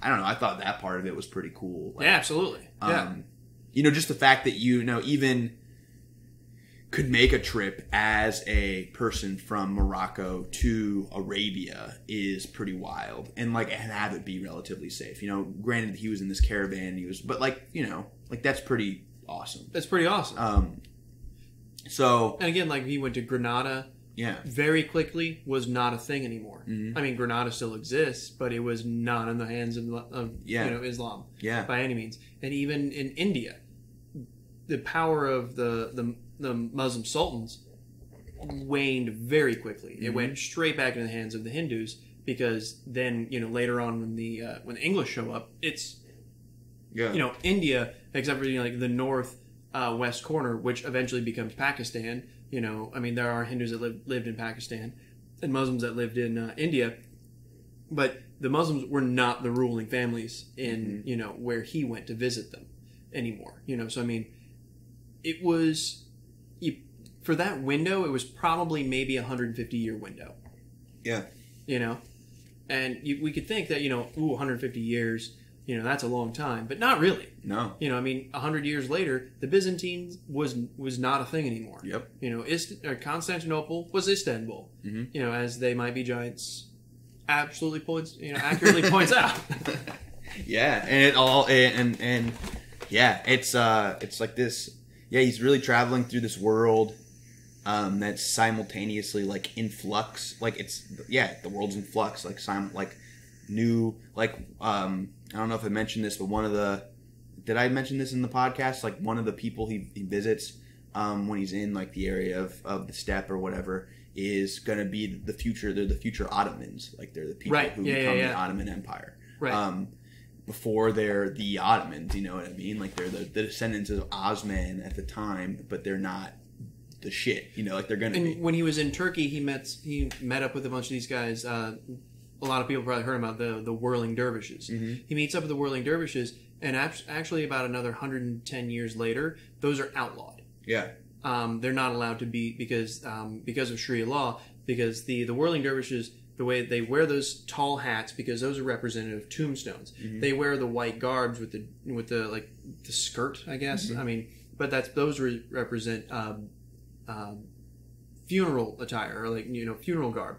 And um, the whole idea behind them is that you are supposed to kill your ego so you can reach higher to God. And they spin around because they're supposed to get into this meditative state, and they hold their arms in this one way because you're supposed to be able to channel God directly, and that is not a thing that was okay later on in his life Yeah. you know and so they went underground because they had to you know so he went and saw them and they were having these you know lavish um, you know very public displays of this you know very soon after that outlawed Yeah. Not allowed. and even they were muslim you Yeah. know It's crazy, man. And you know, yeah, it shows the I don't know the way that like all this diversity existed within the regions which he traveled again, but also the way in which they were all connected. In that there was this free flow of you know, I, I guess not always necessarily free flow, but like a flow of trade Right. between all these places.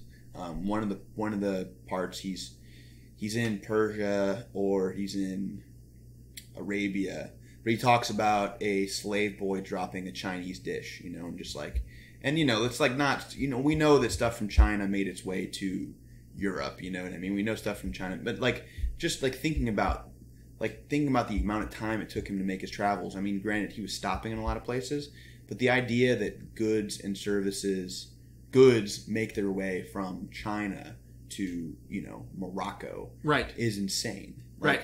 For that time period. because for us uh, you know they, they come on barges you know Yeah. like these massive things that you know are thousands of tons you know but nope one shipload at a time one Mhm. small shipload at a time yeah Yeah.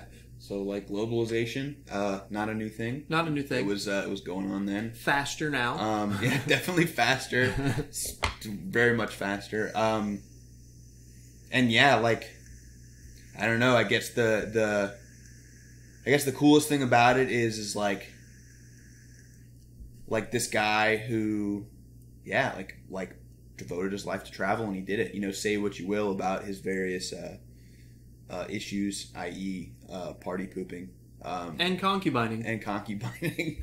yeah, which you know, neither of which do I uh, do I subscribe to. But um, you know, he, he traveled the world in a time where that was not the norm, and like, that's pretty cool. yeah yeah, and we like he learned a lot about it too, and I learned a lot by reading about him, which I guess was the point of this whole thing, right? Is for people to, um, you know, travel writing eh, at that time was just about you know like people who yeah uh, who were rich enough to avoid books, but being able to learn about places that they weren't able to go on their Right. own, perhaps you know. And um, I, only, I only have two more things, but uh, one more thing is um, the one documentary that one of the documentaries I saw. It was this British guy, and he basically just re-traveled, Mhm. you know, um, all of Ibn Battuta- things, and um, he went pretty much everywhere. He wasn't able to go into Saudi Arabia. Um, very few people are allowed in, but um, he went pretty much everywhere else, and what he found was everyone there being so kind and hospitable. Mhm. You know, he made very much point of that on one of the train rides he was taking. That you know, um, as a, as a modern Western culture, what we look at is you know oftentimes with you know the thoughts of terrorism or um, you know this radical Islam. You know, he said that you know he he spent half of his life inside living inside of Muslim world, inside of the Muslim world, and he's never met anyone that was a radical Islamist. You know, and in China they're having a resurgence of of Islam. Um, and you know, and he's he found you know an African group in India that was that is Islam, and you know all of them just couldn't have been happier to have him there. You know, just super kind. You know, just telling they're all, and he asked each of them, you know, like, do you know of Ibn Battuta? And like, oh, I have Ibn Battuta, you know. And uh, another cool thing about that was that um, he had a few translators every now and again, but he almost didn't need it because everywhere he went, everybody read, everybody spoke Arabic Mhm. because that's the way that the Quran is written, and you're supposed to learn at least enough Arabic to be able to recite the Quran because it is the recitation Yeah. because it's supposed to be recite, re- recited in, in Arabic. So everywhere he went, pretty much, he was able to talk to everybody because of because he just spoke Arabic, Yeah. which was super cool. Yeah, and I think that's one of the things, you know, like a, a unity of culture over vast distances, you know, like allows that stuff to happen, which is which is cool in the way that um, having a common cultural like I don't know base can allow people to share, and you know, and the ways in which like I don't know, dude. I, I just I, I get a kick out of like the whole like you know like him visiting the borderlands and seeing how those those traditions that he held very dear were like kind of like blurred at those border areas. But um, Yeah, you know, they're still I don't know. I, I'm at this point. I'm just rambling. I'm tired. This is like well past my bedtime. Yeah, yeah, yeah. if you if you hung out with us for this long, awesome, yeah. well done. You know, really, I mean, I thought it was gonna be three hours. It's only been about two and a half. Two and a half, cool. Yeah. It's Yeah, manageable. You can break this into chunks and listen to it. probably. Yeah. Yeah. All right. So um, I think we're gonna sign off. Uh, again, I'm John, And Jeremiah. and uh, this is History Shmistory, and uh, second episode. And thanks for sticking around. And I don't know what we're gonna talk about next time, but it will be fun. It'll be fun, and it will have already happened. yeah. No current events. Goodbye.